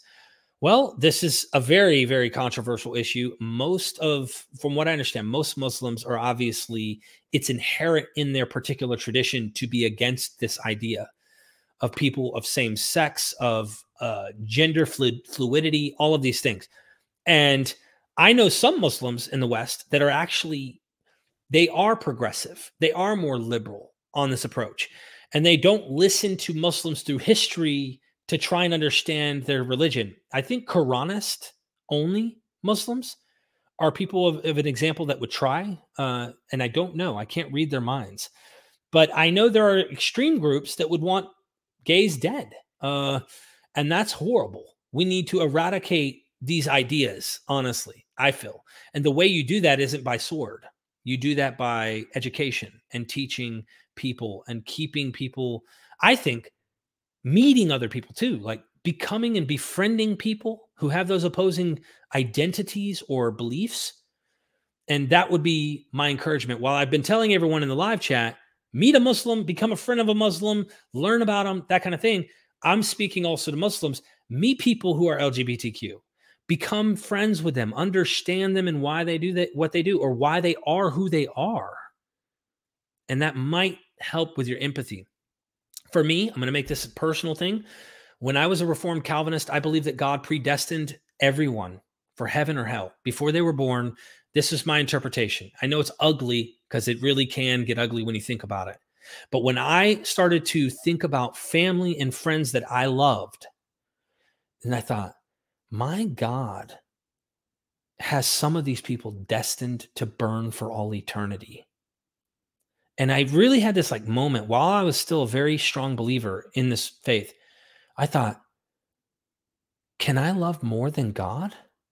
Like, God can't love them because it says, Jacob, I loved Esau, I hated. I went with the text, right? God doesn't love them. That's why they're going to hell. And he loves those he he saves. He actively was involved in making sure that people get saved. He's the potter and you're the clay. That's how I understood it. And it really dawned on me for a moment. And then I had to p- put it down in my mind. I had to suppress it. Do I love people more than God loves them? Some people, not all, but some people more than God loves them. Because I love these people. And if their actions and behaviors, in my point of view, cause them to go to hell or going to make them burn, um, we got a problem. Because I personally, ethically, I can't not love these people. And I couldn't imagine. It was a very di- cognitive dissonance moment in my in my mind. And if you're friends with people that are outside of your group that are living a lifestyle, a way that in which your particular belief system is that way, can you really imagine your God doing that to them? And it's something to think about. But it's also something to think about can I change my views about what God, what I think God will do to people? And I hope people do that. I think many Christians, I don't know if you've noticed this, but I have. Many Christians are becoming universalist lately online. They are becoming it because they're confronted with the ugliness of hell. Let's just call it what it is. And they're finding evidence for what could be interpreted in a universal way, certain ideas. Um, in the end, Christ will be all in all. And early church fathers interpreted it this way. Other early church fathers couldn't wait to tell you how God was going to destroy the unbeliever. And if we did a social historical research, I wonder if those people who hoped God was going to burn them in hell were going through extreme situations in their own life, persecution, or they were treated bad, or whatever. But I wonder if people like Origen kind of had it made and they were in a in a good advantage so they had a life that projected through their writings of a universal salvation for everyone in a delightful message rather than this bad one i think about the writings of certain jewish authors in the zohar and um you know there's some stuff that's anti-gentile but when you find out the historical setting of how the christian church the gentiles literally persecuted and were forced converting jews and all of this stuff in their in their little pockets no wonder they had a hate toward them. And now you can see why their ugly handwriting toward Gentiles is seen. So this is why I love doing historical research. Um, Anonymous, Thank you for the support. Really appreciate it. Far sight. Again, thank you. Most people are good people, religious or not. Can we get a round of applause? Hallelujah. Seriously, I agree with that. I have been saying this. This is why I'm a secular atheist humanist. I have a model. I believe in something. I believe in humans. I believe in my experience. I believe in me. I believe in my family. I believe in the ones that are around me. And I do think that humans are ethically getting better. We're trying to get better. And we need to do that as a group. We need to try and do that more and more. But I definitely think that if you have a dated model, some of the things that are in religion can bring the worst out of us. And while we're humans, we are from the animal kingdom. We have evolved to where we are today. And if you look at how the tribalism works with the with the animal kingdom, you could see that happening in humanity. Look at the wars. We're just repeating what has happened uh, over and over due to tribalistic ideas and things like that. How, and I don't know the answer to this, how do we overcome? How can we as humans ever end war? I know it sounds like wishful thinking, but I asked this a long time ago. When can we finally let our ideas not cause us to kill each other? In our practices. When can we, how can we, and when can we make that happen? I would love to see a world like that. Anyway, um, thank you, Farsight, for that super chat. Really do appreciate it. Going to the next, inquisitive mind. Do you think Muhammad was turning in grave whenever you brought on Hoyland, Shoemaker, Anthony Van Putten, Sidky, Howard Johnson, Said Reynolds, etc.? Uh, I don't know what. this is an interesting question. It's like, would Jesus be rolling over? Is he rolling over in his grave? And of course, Christians would say he's not in the grave. Um, but I don't think that's the case. And I do think there was probably a guy, if he knew that Christians were worshiping him and his mom, I mean, using like Catholicism, some form of worship, but like let's just say that happened. Would he be okay with that? No. But here, let me let me turn it around, inquisitive. If if Muhammad would have seen what Muslims did with his message, would he be turning in his grave? What would he think about the Shia Sunni split? You know, hypotheticals. These are all hypotheticals. But asking the question, do you think Muhammad was turning in his grave by my interviews with Hoyland Shoemaker? I don't know because I don't know what kind of prophet figure, or another way to put it, cult type figure, leader of the certain sect and group that he's teaching. I don't know what kind of person he actually was, but I don't imagine that he would be, if he's trying to convert, let's just say the Quran is accurate in portraying him as trying to convert people and get them to come over. I can't imagine he would be friends with me. I don't know though. I don't know. It's so hypothetical and so interesting because I would want to try, but I don't know if if he's the kind of person who would have done that. Don't know. Um, Muslims in the chat might have something to say, like how would he feel about critical Western scholarship and the stuff that I brought on? What are your thoughts as a Muslim? And then what are your thoughts? Do you think he's rolling over in his grave, hy- hypothetically inquisitive? Because I really couldn't answer the question. I couldn't. I imagine some Muslims definitely don't like my channel because of the critical stuff we do and the historical research, but you know, I don't know. Seth Hi, I am a former Muslim. I was an agnostic searching one. The best defense against the constraints of Islam, like not showing his image, is to show his image, or else you expand their censorship. Good point. I am absolutely pro art here. I am pro the image, and I'm I am pro people's right to express their own critiques and um, issues with the religion itself and whatnot. I ask that people try to be better with the humans that are participants in these religions. I ask that we're able to do that more. But I also agree. I think that if we are able to educate what let me put it this way i'm going to stop myself and say this what that college did by suppressing this academic in the art institute of their you know college honestly actually made things worse and it, they're not helping to educate and promote more free thinking, free education, getting culture out there. Because as I've studied more about Islam, and I am far from exhausting any of this research, I have literally just begun. But as I've studied, I have become more sympathetic and empathetic on understanding the culture and the history that is there. There is a huge chasm between the West and the way we think and what is in the Middle East. Huge chasm. And we need to try and bridge that gap somehow. So, by suppressing educating people on 14th century art that depicts Muhammad, what in the world? It's not like she went up there and said, All right, here's, you know, Salman Rushdie um, literally trying to mock and scoff, even though I think he has the right to do so and should not be attacked for it. Criticized all day long, freedom of speech.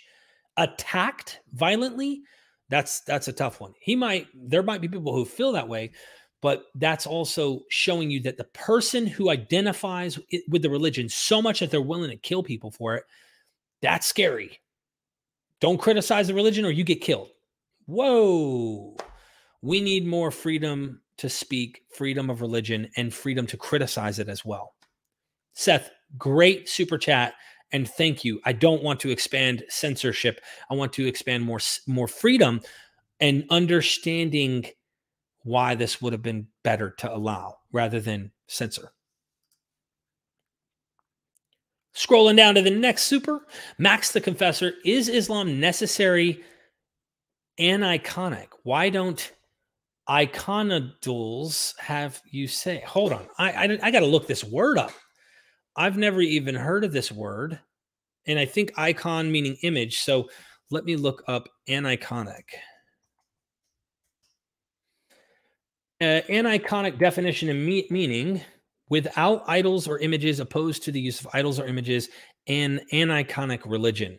Sim, uh, symbolic or suggestive rather than literally representational, not made or designed as a likeness. So, is Islamic is Islam necessarily aniconic? That's why I said the art that this lady gets fired for was done by Muslims. Now they weren't from the Sunni um, perspective; they're from the Shia side, from what I understand. But Muslims, nonetheless, felt that it was okay. And then you said, uh, "Why don't iconodules have a say?" Let me look that word up Iconodules. Big old words. So, um, a person who supports the veneration or of religious icons and iconophile or icon icon no dualist. Um, so this is a person who I think is okay with the idea. So why don't? Yeah, that's a great point. So I had to literally Webster dictionary your super chat, Max the Confessor, because you kicked my butt. You literally kicked my butt with that one. I knew iconic meaning image, but I, I wanted to understand what you were trying to do with that. So um, I think that this is the point. There are voices from the Muslim world who thought what happened was wrong. And I put that, it's the first link in the description of the statement of support for art professor fired from Hamline University by MPAC and my friend Javad Hashmi, Muslim scholar, he said, we immediately, when this happened, opposed what the university did and asked that they reverse what they did. Hint, hint, these are Muslims. And these are kind that I will back up and I will get behind. And that is what I'm trying to point out. So important that when we talk about Islam, well, these are Muslims, which means they follow Islam. So they have a certain form of Islam that isn't the same kind of form of Islam that some would say, Thank you, university, for firing this lady for doing such a horrible thing. Can you imagine how far that would take us down the rabbit hole if you start opening up the door of, well, we don't want you. You, my religion says I can't see a crucifix because Jesus is God and God can't depict it in images. And I see Jesus as God. So don't even make an image of Jesus. Will the university then draw the line and say you can't have any images of art of Christianity or Jesus? Because they see Jesus as God and God is not able to be made in any graven image at all. how far is one willing to go? Now, maybe Muslims don't care and they're like, oh, who cares? I don't care about that art. Sure. Devoid the earth of any art, any images at this point. How far do you want to go? No. So I am with uh, this Muslim scholar and MPAC on this idea. William Arons, good to see you in the chat. I was this. Uh, I think you're saying, I'm troubled that the USA and its allies deserted the more secular and rational Afghans in 2021 and let the fundamentalist Taliban back in power. See, I don't know much about the political struggle here. I do know that the West has helped in light of what happened with Russia. I was in 2010, I went to Afghanistan. I was in Bagram, Afghanistan in 2010. Uh, as a contractor, I was a well, pretty much a mailman on base there. And I saw various armies when we went to the chow hall, as they call it, the little cafeteria. You see different armies from different nations, from France to Russia, you name it. But that base was a Russian military base. And the West armed militant groups that were radicalized, I think, by the propaganda, according to what I heard, making them more militant. And these very radical groups ended up turning against the West and of course against the region. So, yeah, you can blame the West for a lot of what's happened over there in the Middle East. You can blame us. I think we should. Being fair. William Arns, thank you so much for the super chat. Seth High, the other tactic is to show the ridiculousness of control and censorship. Censorship. Example: According to Islam, I am an apostate that needs to be killed. Who will cast the Who will cast the first stone? So, Seth, this is a great, great point. You're an apostate. I was reading in yesterday, I was reading the book before I interviewed Dr. Gabriel Said Reynolds, and I'm looking forward to being able to release that. Um, that's going to be a good one. In his book, he brings up how, yes, there are Muslims who think this, but other forms of Islam don't. That's the interesting thing. So I don't know if this is like a majority count in Sunni Islam that they think you should be killed, but not all Muslims in their forms of Islam think this. And in fact, guess where this comes from? Later biographers and people who write hadith and such, they're the ones who implement this idea of, you know, killing you. Um, and they're interpreting certain Quranic passages in light of this kind of thing. So uh, you can read stories about Muhammad that are just not nice, that are very, very bad about this. And um, did Muhammad actually do it or not? I don't know. If he did, he was a man of his time, of course. Um, if he didn't, he was resisting probably the urges of his time. I don't know.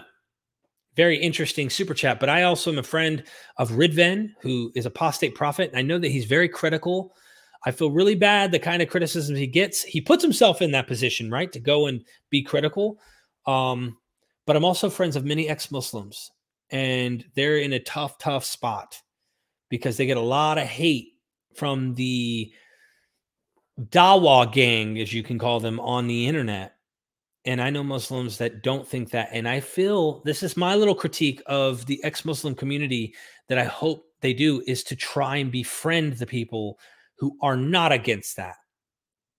That's or sorry, that are against the, the the death threats, the ideas of you needing to die. Befriend the people who have a similar ethic of saying, "Hey, we respect you even if we don't agree with your conclusions." And in no way should you deserve to die. I think the change is going to happen from the inside. Rome fell from the inside. I think the change within Christianity happened from the inside. Look at the slavery issue, right? There were Southern slave owners, Christians, using their Bible to prove, hey, I can own people and this is justified and good. And people in the North, nope. And it wasn't just North and South, but there's a variation there. But the point is, Christians amongst themselves had this issue. And it were Christians that were rising up against Christians to do this. We need more Muslims who are able to rise up and make a change within their own communities. Seth, I uh, really appreciate your super chat. And it's interesting. I didn't know that you were, uh, I guess, an apostate in particular uh, with Islam. I didn't know you were ex Muslim. Thank you for that. Scrolling down, scrolling down. Trying to make sure we cover what we're supposed uh, Omar in the chat says, uh, MythVision Podcast, hello, Derek. I hope you're well, man. Did you get a chance to read the emails I sent you months ago? I must be honest, Omar, I have not read them all. Like, I literally just read that you sent me some stuff. I started reading and I can't even remember the context. I'm working my life away right now, man. I'm trying my best. I'm sorry. Um, if you feel like resending them, feel free to. I must admit that I don't even know if I'll have time to really dig into them because I'm actually putting some courses together and I'm always doing some tough work. And it's hard to get me on when I'm doing certain topics. So um, I apologize. Must got I got to keep it real with you. I haven't read them completely. I know that you sent me some stuff and I remember starting to read some of them, but I definitely didn't read them all. Stop scamming, man. Among non Muslims in the West, there's a fair bit of energy put towards defending Islam from attack and insult that would have been better spent making a stand against the Muslim genocide in China. Interesting. Wow. I did not know that there was this Muslim genocide in China going on. See, I don't even have my ears to the ground. I'm, I'm not aware of so much that does go on. I think I did hear in passing something like that, but I also see there's a there's constant persecution of Christians in China too, from what I understand. So it wouldn't shock me. I agree. Islam as a religion being defended, I mean, maybe there's a context in which that could be made, but definitely I would say watching out for Muslims is another thing. So the person and the belief or the religion itself they're two different categories to me, even if they overlap sometimes. I think it's important that we differentiate. And being critical of Islam is a necessary component of critical thinking of the scientific method of the West and what we do. It was Christians. If you haven't watched my course with Dale C. Allison Jr. on the quest for the historical Jesus, where have you been? You really need to sign up for that course. It's not a course about proving Jesus' historicity. It's not a course about disproving. It is not an apologetic course, it is a history from the Protestant Reformation on what Christians did to the other Christians. By the way, they were priests in the Catholic Church that were opposing other Catholic ideologies and their own faith that ended up starting to break off when we had to break Protestantism out of, they were protesting of the Catholic Church. And then down through the history, from the Protestant Reformation down, it was Christians, not atheists, not skeptics, not, you know, whatever you want to call people who aren't Christians. Okay. It was Christians who saw the problems with their own Bibles. It was Christians who saw textual variants, Christians who said Jesus didn't say that, Christians who said New Testament gospels are mythology and legend, and that well, there's some meaning there. They didn't literally happen. These were Christians. So I feel like it's going to be Muslims who are going to be critical of Islam, who are going to be critical of the history of Islam, who are going to be critical of current contemporary Islam. And we need to empower those Muslims to help make a change in Islam. And that's my personal take. Too often it's either or. And I think we need to find a way. That's my voice. And that's what I get from this. But I had no clue that there was um, genocide in China happening to Muslims. That's wild. Thank you for that. Stop scamming, man. I always love seeing you in this chat. It really is good to see all of you and support, throwing super chats and stuff.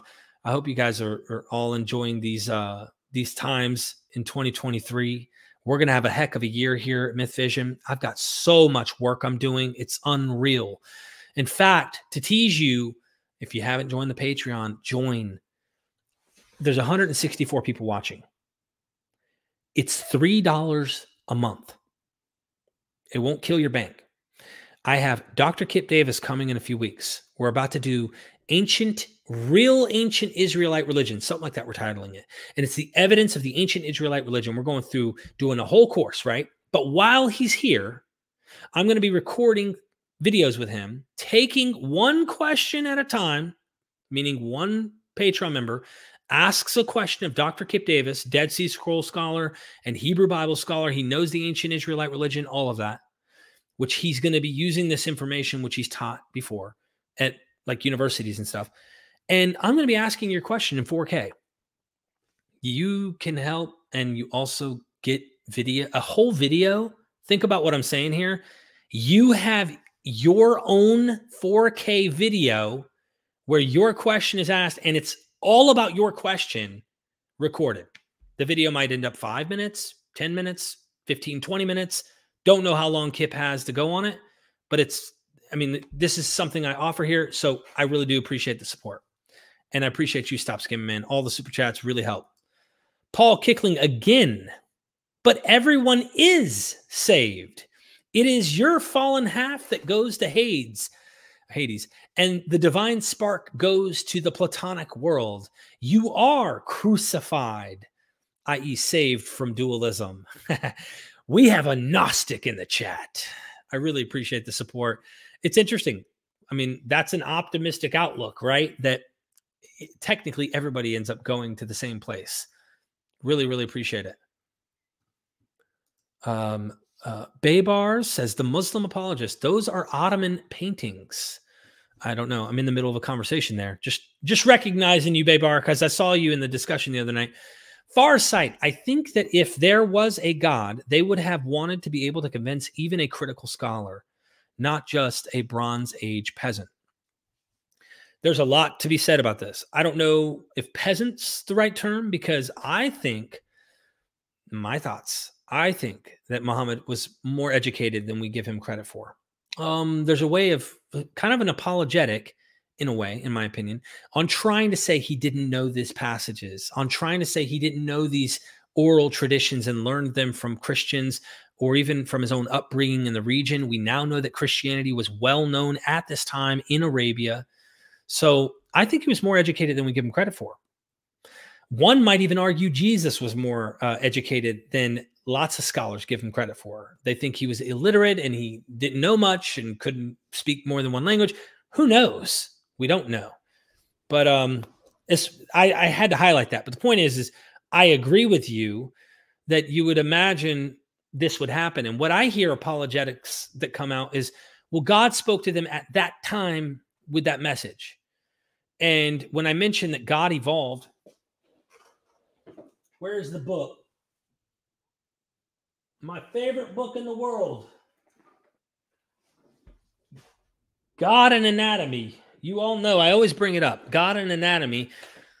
In that book, God has body parts. God is physical. God is not like this invisible, spiritual, outside space and time thing that philosophy makes God. God is active, physical, has children, had a wife, has body parts, all of that. And that's what Francesca shows. It evolves over time. So the apologetic is, well, maybe divine revelation gets revealed over time. And so humans only at that time needed to have it. What's more plausible? I think Farsight would agree with me is that this looks very natural and an evolution of ideas, meaning humans' perception is changing over time. Therefore, the perception of what we call God changes. It doesn't disprove that there isn't something of a creator. It just says that this revelation was dated and that's it. But um, in Islam, you know, you have debate even among Muslims about God and body parts having a hand or sitting on a throne or things like that. There are variations. I think most of them will say immaterial, unknowable. Obviously, the Quran talks about there are no sons, God is no father. Uh, don't even try to lower him into a category that can be like that. It's almost unimaginable what God is. And so um, that is their perception, it seems, for some, right? I don't know if all, but I think that that's pretty much perception. It sounds very philosophical, which makes me wonder did Muhammad also have an awareness of philosophy uh, at the time? Greek philosophy. It seems the Quran is aware of the debate amongst Christians. And um, yeah, so anyway, that's my thoughts. I don't know why I took your super chat that direction. I hope that you didn't mind, Farsight. I appreciate that. Thank you. Paul Kickling again in the house. Paul, thank you. Wrath in Judaism, Christianity is the same in Buddhism. So you can be crucified. Otherwise, you will never learn what you did wrong and thus never grow. It's karma. I think that uh, Robert Price has said before on the channel that there are many hells to uh, to Buddhism. There are many hells and things like that. So it's similar language and you wonder are you right? Is this the kind of understanding? Take up your cross and follow me. Does Jesus mean literally take up your cross and follow me? I tend to think so. But then again, I'm reading Mark through a context of as a poor uh, post-war document, and I think that the Jerusalem sect got killed in this war, and there is a reason that Mark portrays them in this way. That they didn't. Jesus died alone, forsaken and uh, so I have I have an angle on this where I think he's trying to say, well, if you guys would have died for my sake here, you would have took up your cross and followed me. Instead, they forsook him, and that's why the women fled from the tomb and told no one about Jesus and where he went.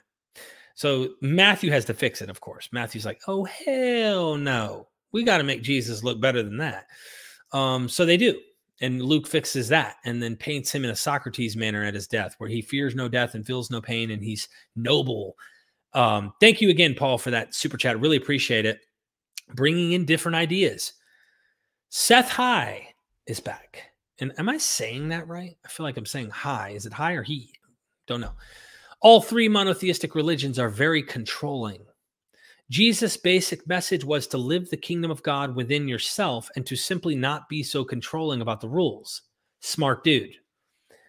This depends on the interpretation of Jesus' message of the kingdom.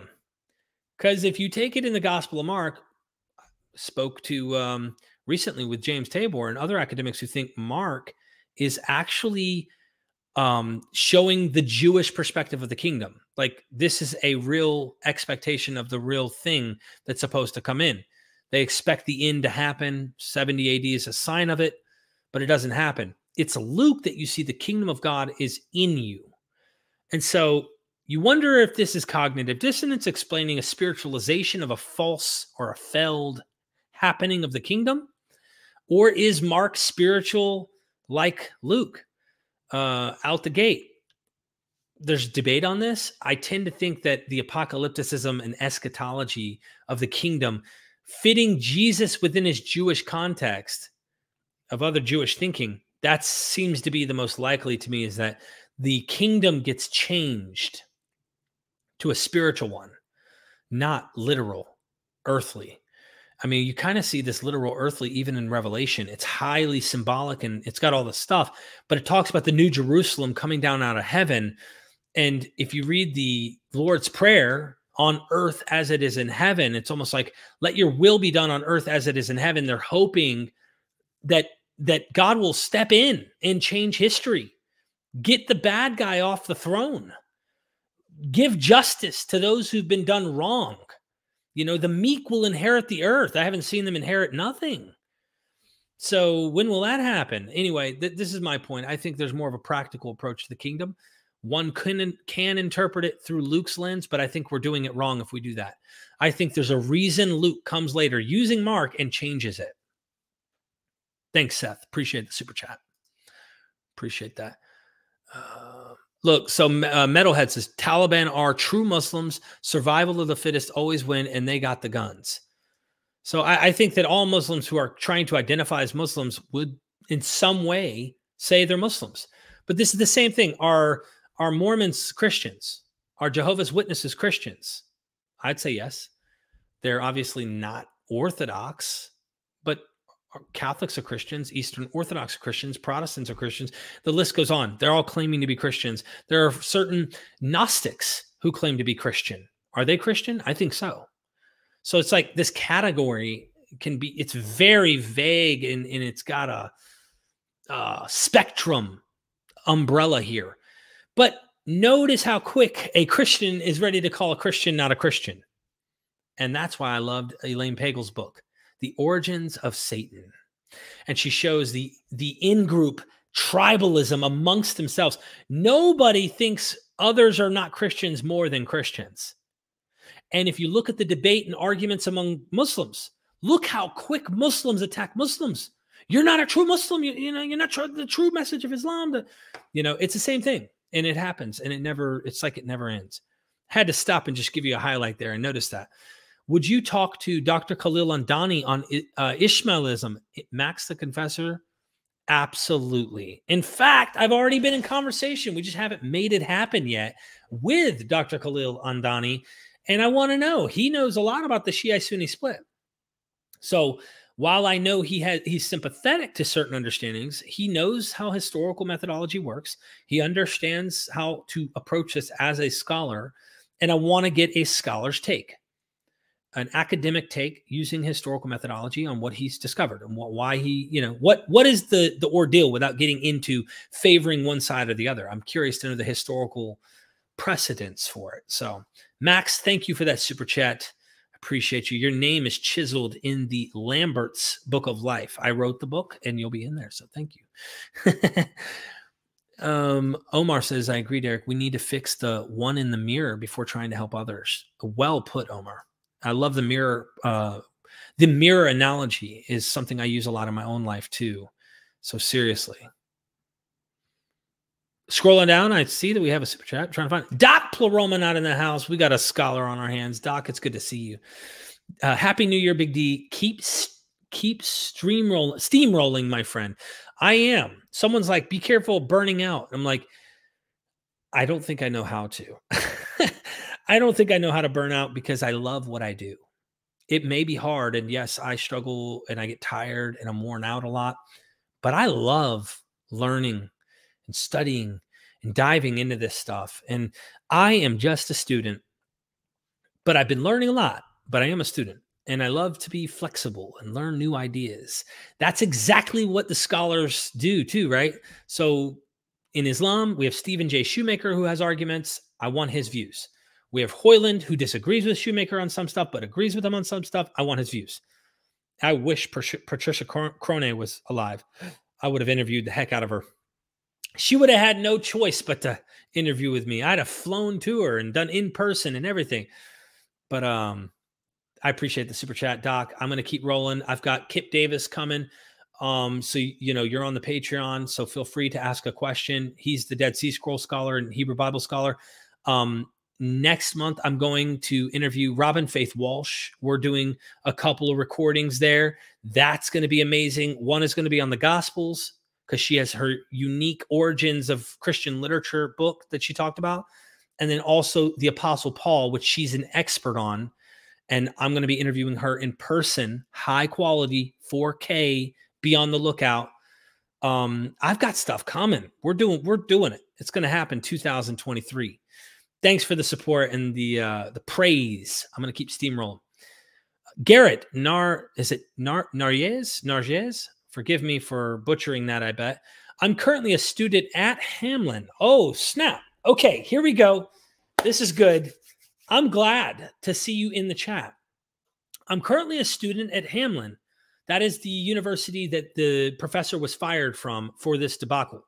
Masters in Education. As a future educator and atheist, I find the outcome at my school to be quite concerning. Me too. And I hope that they they reverse what happens. I won't even look. It's a learning experience. I wouldn't hold this sin against the university, you know, indefinitely unless they don't do something about it. But at the end of the day, I'm absolutely with you, Garrett. I really appreciate you coming in as somebody who's there. This is a big concerning issue. And that's why I brought up MPAC's article from a Muslim, Muslims actually, the, the this MPAC article is, and it's showing like, are you kidding me? This is ridiculous. And they're calling for a reversal. So let's hope that your university, Hamline, reverses what happened and makes things right, compensates her for the shaming and things like that that happened here because it's it's it's pretty bad. Um, I really appreciate that. I'd love to hear anything that you might know that I don't about this situation, but let's just hope that it does change, especially being someone in a secular university in the West. Holy smokes, right? Mm. Thank you so much. Really appreciate that. And I'm like highlighting the voices of Muslims that are saying, hey, um, you need to change this. The ones who say, no, thank you, university. Eh, nah, dude, not having it. So I really, really, really want to make that change as well. Garrett, thank you for the super chat. Stop scamming, man. Ibn Ishaq's 8th century bio of Muhammad has a whole bunch of references to Muhammad reading and writing. Hmm. Numerous Muslims, including Muhammad's daughter, Ruqayya, spent time in Christian Abyssinia. Wow. Okay. So I've been hearing some apologetics online, Stop Scamming Man, where they're trying to say he's illiterate and doesn't know how to read or write, that he just a prophet who's got the words directly from Gabriel in a cave. And of course, you know, um, I'm approaching this critically, right? I want to know what really happened and not the the faith commitments.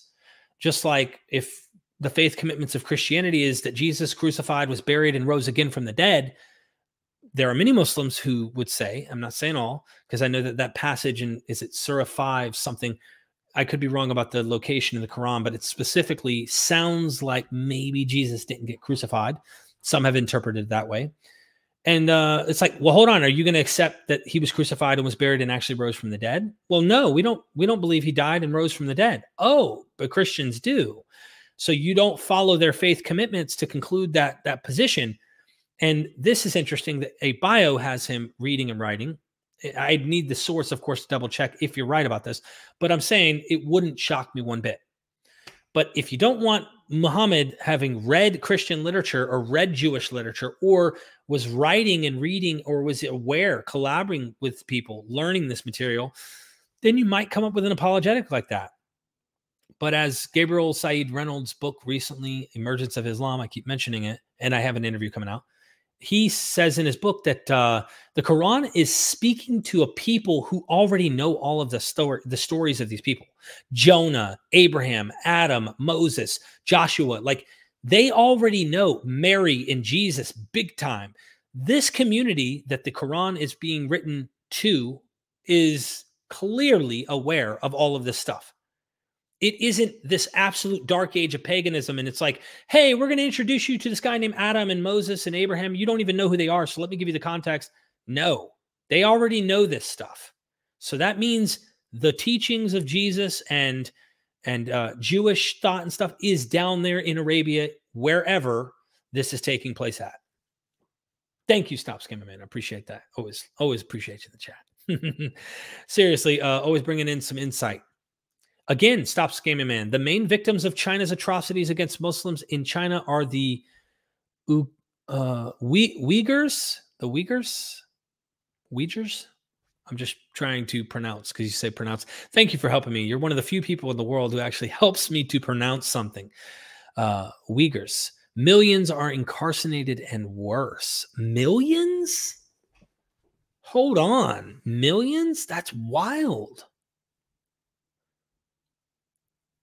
Wow. That's wild. I did not know that. Thank you uh, for bringing that to my attention. Now you got me wanting to go look up what's going on in China. So crazy. Thank you, Stop Scamming Man. Again, inquisitive mind. Robyn Faith Walsh needs dating. Link me up, Derek. She is a married woman, my friend. But I do have a funny, um, I have a very funny tell to tell you. I actually was speaking to her earlier today on the phone. And um, when you search, so when I create YouTube videos, down in the bottom of the YouTube videos, there's tags. And when you type in tag words, keywords, right? They're like hashtags. Um, sometimes I have an automated thing that like lets me know certain things that are popular known tags. And one of the most popular tags when you just type in type in Robyn Faith Walsh is the next word comes up husband. So people on the internet, you can blame yourselves, YouTube, are searching Robyn Faith Walsh husband.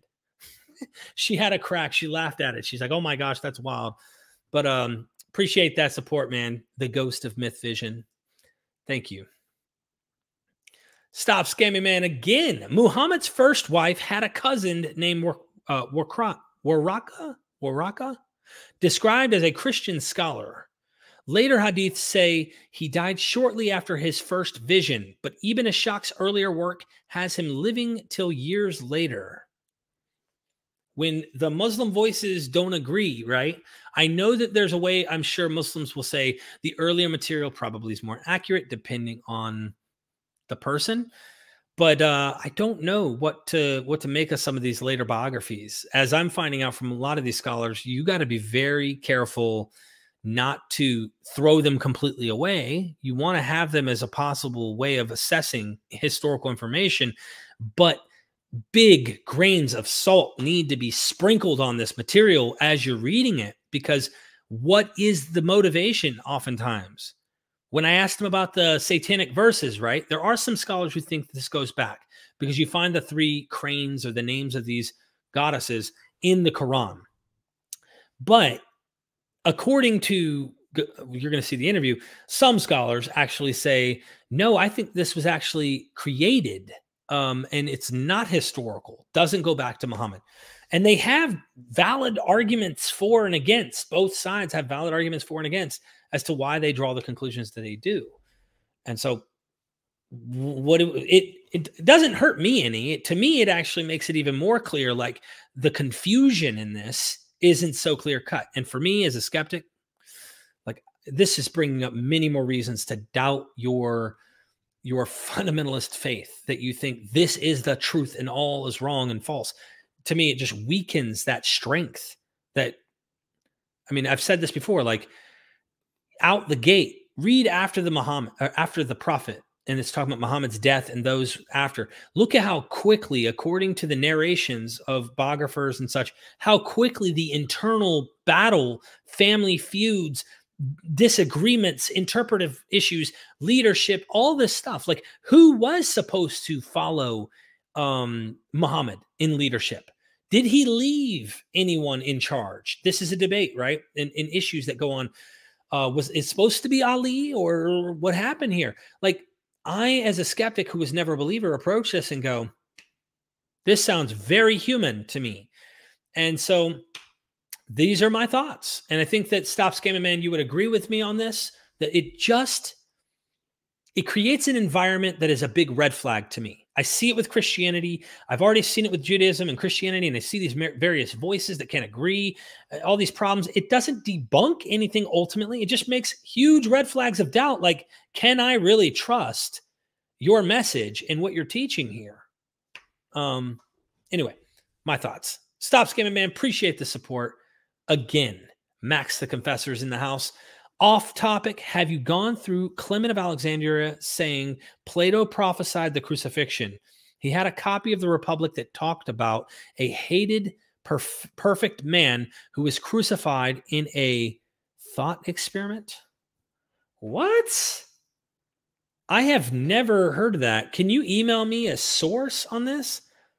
I have never heard of this. And it might be a later thing that people are putting in the mouth of Plato, but I'd be shocked to see a source that's actually early. And this isn't something that, especially like Richard Carrier and others, wouldn't have capitalized on. I don't know. Please um, email me if you don't have that. I'm putting it in the chat.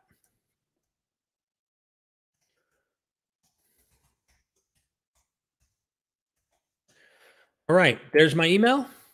Please feel free to message me any sources you find on that, or even the idea, if you know anywhere I can look to find that. That's wild, Max. I really appreciate you bringing that to my attention, but that's that's like once again, we're looking for history. We're trying to find out what's up. What I want to know when this was dated and when this was said. Paul Kickling, go to the wiki page of Teaching of Jacob, earliest mention of Islam. It says original Islam was a Christian heresy in 9th century Abbasid edit, edited the Quran. Teaching of Jacob. Let me look at this here.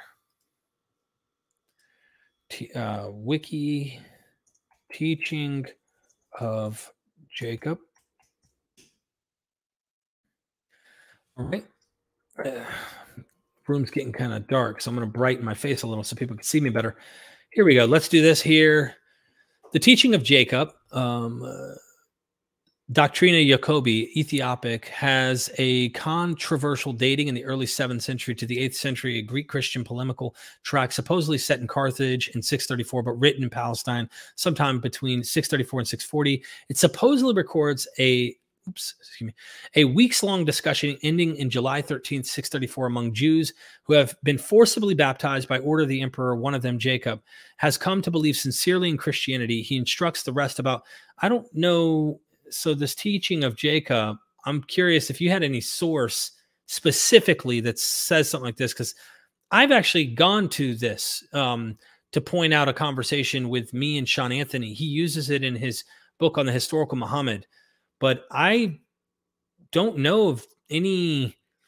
I mean, it wouldn't shock me if there were a form of Christianity. That's that's for sure. It would not shock me a bit that they were some form of it because they're so aware. Even their reading of Genesis, right, with Satan in the garden, that's not a Jewish tradition. That is a Christian tradition. So even the reading of the Quran is through a Christianish lens. And I use ish because a lot of the scholars think it's oral traditions down in Arabia, and there is no Arabic Bible.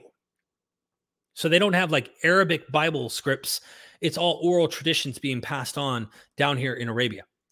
But yeah, if you can give me the source and email that to me, I would be more than happy to discuss that at some point in a further episode for sure, Paul.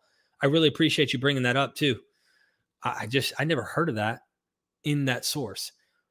Thank you so much. I'm scrolling. Uh, Inquisitive Mind. Okay, what about Francesca Stavrakopoulou? Link me up.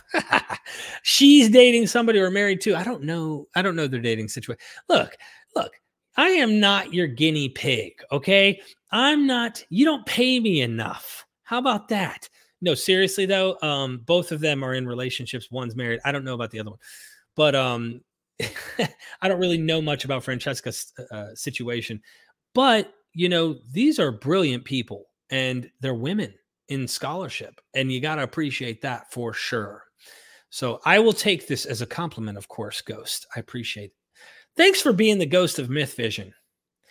Stop Scamming Man is back again. Jeez, I all of these are indulgences for any sins committed past, present, and future. Okay, thanks a lot. Ibn Ishaq portrays Arabs as proudly believing themselves descendants of Abraham and speaks of Muhammad fighting in the Kaaba's interior, a model of a dove and picture of Mary and Jesus among the idols. Interesting. Ibn Ishaq portrays Arabs as proudly believing themselves descendants of Abraham. Yeah, they're definitely there's literature they call them Saracens from the Greek. It's a Greek derivative, but it is definitely something that was called of the Arabs in that region but they were saying that they were Ishmaelites and not from uh, Isaac. Speak of Muhammad fighting or finding in the Kaaba. I said fighting when I first read that. That's why I was like, huh? Uh, Muhammad finding in the Kaaba's interior a model of a dove and picture of Mary and Jesus among the idols. Hmm. It wouldn't shock me. I mean, the Quran is engaging in this debate, right? It wouldn't shock me if there's some history of them considering these Christians who have idols and images of Mary, it wouldn't shock me one bit. And in fact, at this time, they're having numismatic debates in the Christian political spectrum, religious political spectrum, where you're not allowed to have images of Jesus or Mary or things like that. So they're trying to cut out all of that. There's a book written by um, Andrew Casper who talks about the iconography. And his book is actually about the Shroud of Turin. So he goes through how Christians depict art, but he talks about at this time that there's a lot of debate amongst having images, period. And maybe this is happening down in Arabia as well. Maybe there's a Christian debate against. Maybe there were Christians who were saying, stop, no more images. And this sect down here, this version of Arabic Christianish type of group um, adopted this and said no, and maybe adopted some of the pre Islamic Arabic ideas of fate, which they had uh, like a predestinarian fatal idea to the God and made like a mixture here. Something was birthed new. Don't know. It's interesting. I really do love learning this kind of stuff. And that's why I can't wait to see more pre Islamic inscriptions in Arabic, Syriac, you name it, that kind of help us to try and understand what was going down down in Arabia in these regions. Appreciate that super chat for real. Sina or Sina, I don't want to butcher your last name. Ayo, Armin from Atheist Republic has been digging deep into Islam's origins. It would be really nice if you guys got together. I have interviewed Armin, and I'm curious to know what he. I mean, I'd be happy to hear what he has to say about Islam and its origins. I've actually interviewed him as an ex-Muslim on the channel, so maybe we can make that happen at some point and see what he has to say. I know there's different views out there, but I have specifically on Myth Vision purposefully, purposefully trying to get the academics. I want the scholars. I want the the heavy hitting PhDs that are in the programs and that know this material as much as I can because like these are the guys that are at the cutting edge of the latest research of knowing what's going on, the debate in the academic community of what's what is actually happening. And I think it's important to do both, but also get what experts say in the field. I, I can go and interview, for example, and I'm not equating this, I'm making a point. Don't take this bad. But like if I go and interview someone who's like a plant, a believer in plant medicines, but doesn't believe in any Western medicine or Western science or surgery or anything like that, like you kind of have to be like, hold on, be very careful. I'm not equating that, but I am going to say that when I look at non academic people on YouTube trying to get at the sources and understand the origins of Islam, if it's from a polemicist, uh, a polemicist, apologetic Christian who's trying to tell you the origins of Islam, sometimes they see things that Muslims won't look at. And I and I can, you know, relate and say, "Oh, wow, that's interesting. You bring up a good point." But then sometimes it's almost conspiracy land of anything goes as long as it's not true. And Muslims are like, really? Come on. So I'm more interested in academic historical research. And it's like, you can make your own mind up after you've studied it and look at it. And um, I kind of want to be able to do both, but I also want to lean toward the academic side of like, how do we really assess the information and data? We can have all the conversations we want non academically, but it's important we do have the academic one. And I don't think you were anyway saying not to. But Armin is a friend of mine, and I'd be happy to have a discussion with him at some point. I don't know what he's been up to. I just had him on one time, and we're really good people. Like we get along good. Stop scamming, man. Would you be interested in buying Ibn, Ibn Ishaq's The Life of Muhammad translated by Alfred Gulami? If I chat you 30, that will cover it and it's available on Amazon. Absolutely. Heck yeah. I'll buy it right now. Yes. Uh, but I, I love to get books like this too. I love to learn all of this stuff. So let me um let me see. Toss me that 30, man. I'll be happy without a doubt spending the money right now. YouTube doesn't pay me for the month, but I'd be happy to do it right now. Stop scamming, man. Keep making it rain. Derek's going to learn today. Metalhead ain't playing, is he? Oh, man.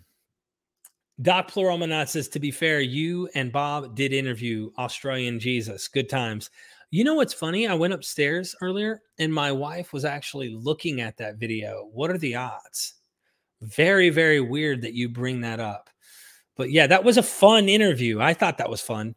The guy wrote me the most passive aggressive, bitching email I've ever had from anyone I've ever interviewed on my channel. Anyone. And I've had some passive aggressive emails.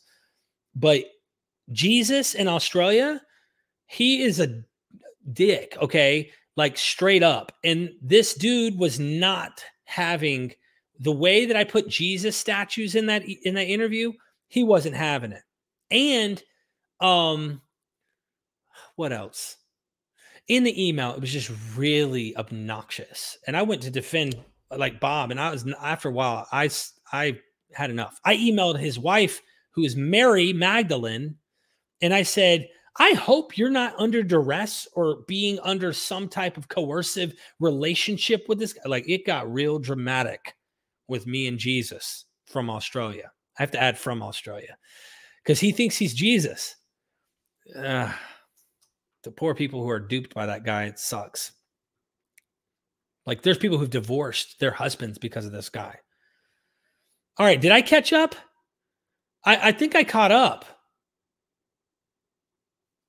Okay, I caught up. So stop scamming, man. I'm looking for the 30 and I'm pulling it up on Amazon and I'm clicking purchase when you when you drop that Joker. I need to get the exact name of this this book here.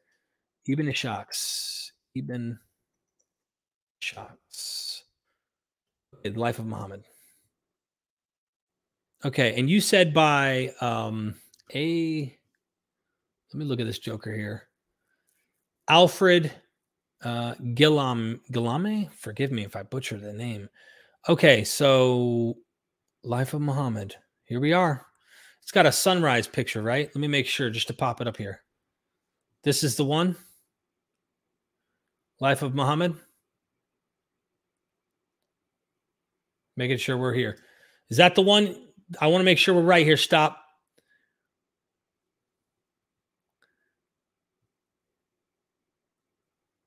Waiting on you to say yes. I don't want to buy the wrong one. You got it. Okay, perfect. Thank you. You rock. Latest Christmas present ever. How uh, anyhow, Armin Navabi can undoubtedly tell you everything about the uh, Uyghur situation. Ooh. Ooh. Okay. Maybe I need to get him on to talk about that and see what's going on there. Because I think this is my thoughts, and anyone who clips this, I'm going to buy this right now, by the way. Um, I think that uh, Armin tries to be as balanced and fair as he can. The one, the few times I do take the time to watch some of the lives he does, I think he is trying to be as fair to people who are Muslims. He has spoken out against um, against uh, nationalists in India, Indian nationalists that are like death to Muslims and stuff. There's all sorts of crazy stuff. So I know that he's a humanist, and I know he wants to try and be as fair and balanced as he can. I don't know all of his views about everything, but I know that he's tried, and I try to give him the benefit of the doubt in anything that he's trying to say, especially someone who probably gets a lot of crap as an ex Muslim. Okay, grabbing the book right now. Let me see here. Okay, so it's saying it'll be, let me get my cart. So it'll be here at the end of the month. So a little bit of a little bit of a wait um, hit proceed to check out. I don't want you guys seeing my information. You might show up at my door one day. That would be bad. My wife would be like, Who is this person? All right, placing order. Okay, it's uh, order placed. Thanks. Confirmation we sent your email. All right, you did it. You forced me. Stop scamming, man. You for I was coerced by 30 euros or is that pounds? I think it's euros. I could be wrong. The angle of the the E. Either way, you forced me, you coerced me. Everyone saw it. I undoubtedly had to do what I had to do. But that will be here uh, at sometime at the end of January. I really appreciate the support. And I look forward to reading the account to see how this exegete, this scholar, someone who believes they're following in the footsteps of Muhammad, how they understood and interpreted it. The interesting thing about this, and this kind of is another one of those blows to being more skeptical and curious of being doubtful of the truth of all of this, is these scholars and exegetes, they, uh, from what I understand, correct me if I'm wrong, they're they're trying to find a chain of command. So they're doing everything they can to say, like, no, no, no, this really goes back to the prophet. Or or at least some other authors in the hadith traditions are trying to come up with a science Ithnad, is it Isnad or something like that? I can't remember how they pronounce it. They have a science of trying to say this goes back to Muhammad. So if most Muslims are believing that what they're saying is true and went back to Muhammad, that's bad for the religion. That is where being critical of Islam is important. And nobody does it better, I hope, than Muslims. And I hope that they'll start to do that more. Max the Confessor, you can look up more academic papers, but the quotations are short. I'll post the link in the chat. Will it allow you to post a link? Is there a link? I don't know if you can post links in the chat. Worst case, Max, is email me. Worst case. Please don't don't forget you can email me. I did put I'm gonna put it in the chat again because I am always interested in this kind of stuff. It's really interesting mythvisionpodcast at gmail.com. All right. Someone said, You say it perfectly. Um, I thank you, Lily. I really appreciate that. I hope I'm saying it at least somewhat okay. My wife would disagree, right? She'd like, He ain't perfect. He ain't perfect. Don't listen to him. oh, that's the basis of the hadith. Isnad. Yeah, that's the word, man. I'm learning, man. Give me some credit. Everybody, give me a little credit. I am um new to it, but um I'm learning. And Isnad is the science that they they did. But that there's reasons to doubt that. And uh wow, I'm I'm starting this journey of figuring out This is a whole world. Like if you've never entered Islam, like in terms of the research critically and stuff, and you're like, oh, I understand Jesus and like New Testament Bible stuff and Hebrew Bible, and I'm involved in the Bible, but never really the Quran or Islam. You're in for a ride. There is so much. It's a whole nother world, even though it's Abrahamic. It's a whole nother world of tradition that has a life of its own. And there is so much stuff here. Azazel, forgive me if I butchered that. This is my favorite new channel. Thank you. That makes me feel good. I, am a, my mission is being accomplished. Doc Pluralmanat resource answeringislam.com is very academic. Okay. Okay. Although a Christian resource. So there's stuff I'm very careful, right? Because I know there's polemic. I know there's polemic, but you could probably gain some insight to a lot of this stuff. And if it's if it's Christians arguing against Islam to defend their worldview, it's like, mm, you know, is there a motivating factor that causes you to see wrong? Am I being motivated by bad biases? Is there something that I'm doing that isn't allowing me to pierce through and properly assess the information? Maybe that's the case sometimes, but at least I'm willing to admit like that could happen. I'm sure that could happen. But there are methodologies that can help that can help me to rule those biases out. And if we can stick to rigorous good methodology, mm, whatever my biases are, you know, we can get to the fact, right? We could try to get to the best explained explanation there is. And I'm hoping that happens. Okay, I caught up here. Derek, I appreciate your sincerity, man. Wish we could have a conversation sometime, buddy. Omar, maybe we can. maybe we can. Um, I, I I've been busy and I haven't really done live streams. I had to come on and hang out with you all. I, I saw this in a recent email from a friend. I have to leave anonymous. They always tell me, keep my name out of it all. But they they notified me. I had already seen it, but it didn't come to my attention that I should do something about it. Then I saw the email a few days ago, and then I thought, you know what? I think I should really cover this and talk about why what happened in this academic setting was wrong. I mean, the, this is my thoughts, but I left a poll up to give people an opportunity to vote. The chat is always there. I try not to censor my chats unless people are being derogatory like you can have a differing opinion, you can debate, but if you're rude and you're going above and beyond, you know, we're gonna we're gonna keep that stuff under control. Um, but yeah, let me let me do this poll. Let's see what the poll looks like, and then we're gonna wrap things up because I do need to get some food. I am I am burning on fumes right here. My fuel, right? Okay, let's go up here uh, in poll. I've learned the hard way. Last time I thought, oh my God, the poll disappeared. Should they have fired, I said, the professor for showing art depicting Muhammad? 91% say no. 8%, 8% of people say yes. There were 433 votes. If my math, and I have, man, I did, I did calculus in high school and it's been so long since doing math. Let me make sure I have this properly here. 433. Uh, let's do, is it uh, divided by 0.91, if I'm not mistaken? 400, hold on, help me out. How do I do the damn math here? 433 votes. To get to the percentage here, my brain is so shot. Times 0.91 so 394 people pretty much voted uh, no. Am I right about this math? Tell me if I'm wrong. Yeah, 32 people. So I was right. Okay. 30 people 32 32 people said yes. Wow, that's actually more than I thought we would get. 8% is too much. Should be 0. I agree. Oh. I don't know. Someone's. Hmm. Okay, you guys are debating and stuff. That's probably what's going on here. All right. So, yeah, wow. I'm kind of shocked. I'm not going to lie that there was that many people who actually thought that what she did was absolutely wrong.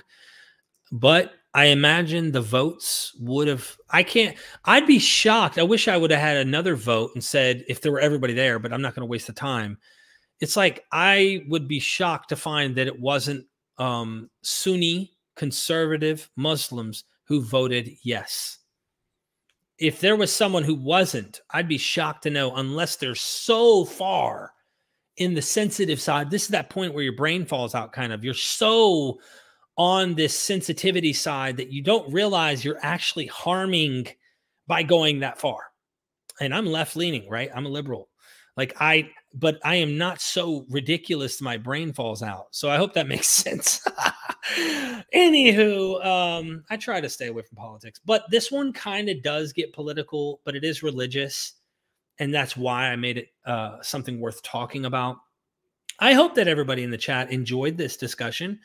And I hope that your vote counted. And I hope that this freaking university reverses what they did I would understand under different kinds of circumstances doing what happened, not in this one. This was just downright wrong in the approach. So I appreciate you all. Thank you for tuning in. I'd love to spend more time with you, but I'm afraid I'm going to end up uh, dying of starvation if I don't go and put some fuel in my stomach. I've been editing right before I did this live. I've been working my butt off hit the like button, drop a comment, share this with one of your friends, and um, never forget that we are MythVision. Go in the description, join the Patreon, check out the courses. Man, we've got so much stuff coming up. I really appreciate you all, seriously. And uh, here we are to our outro.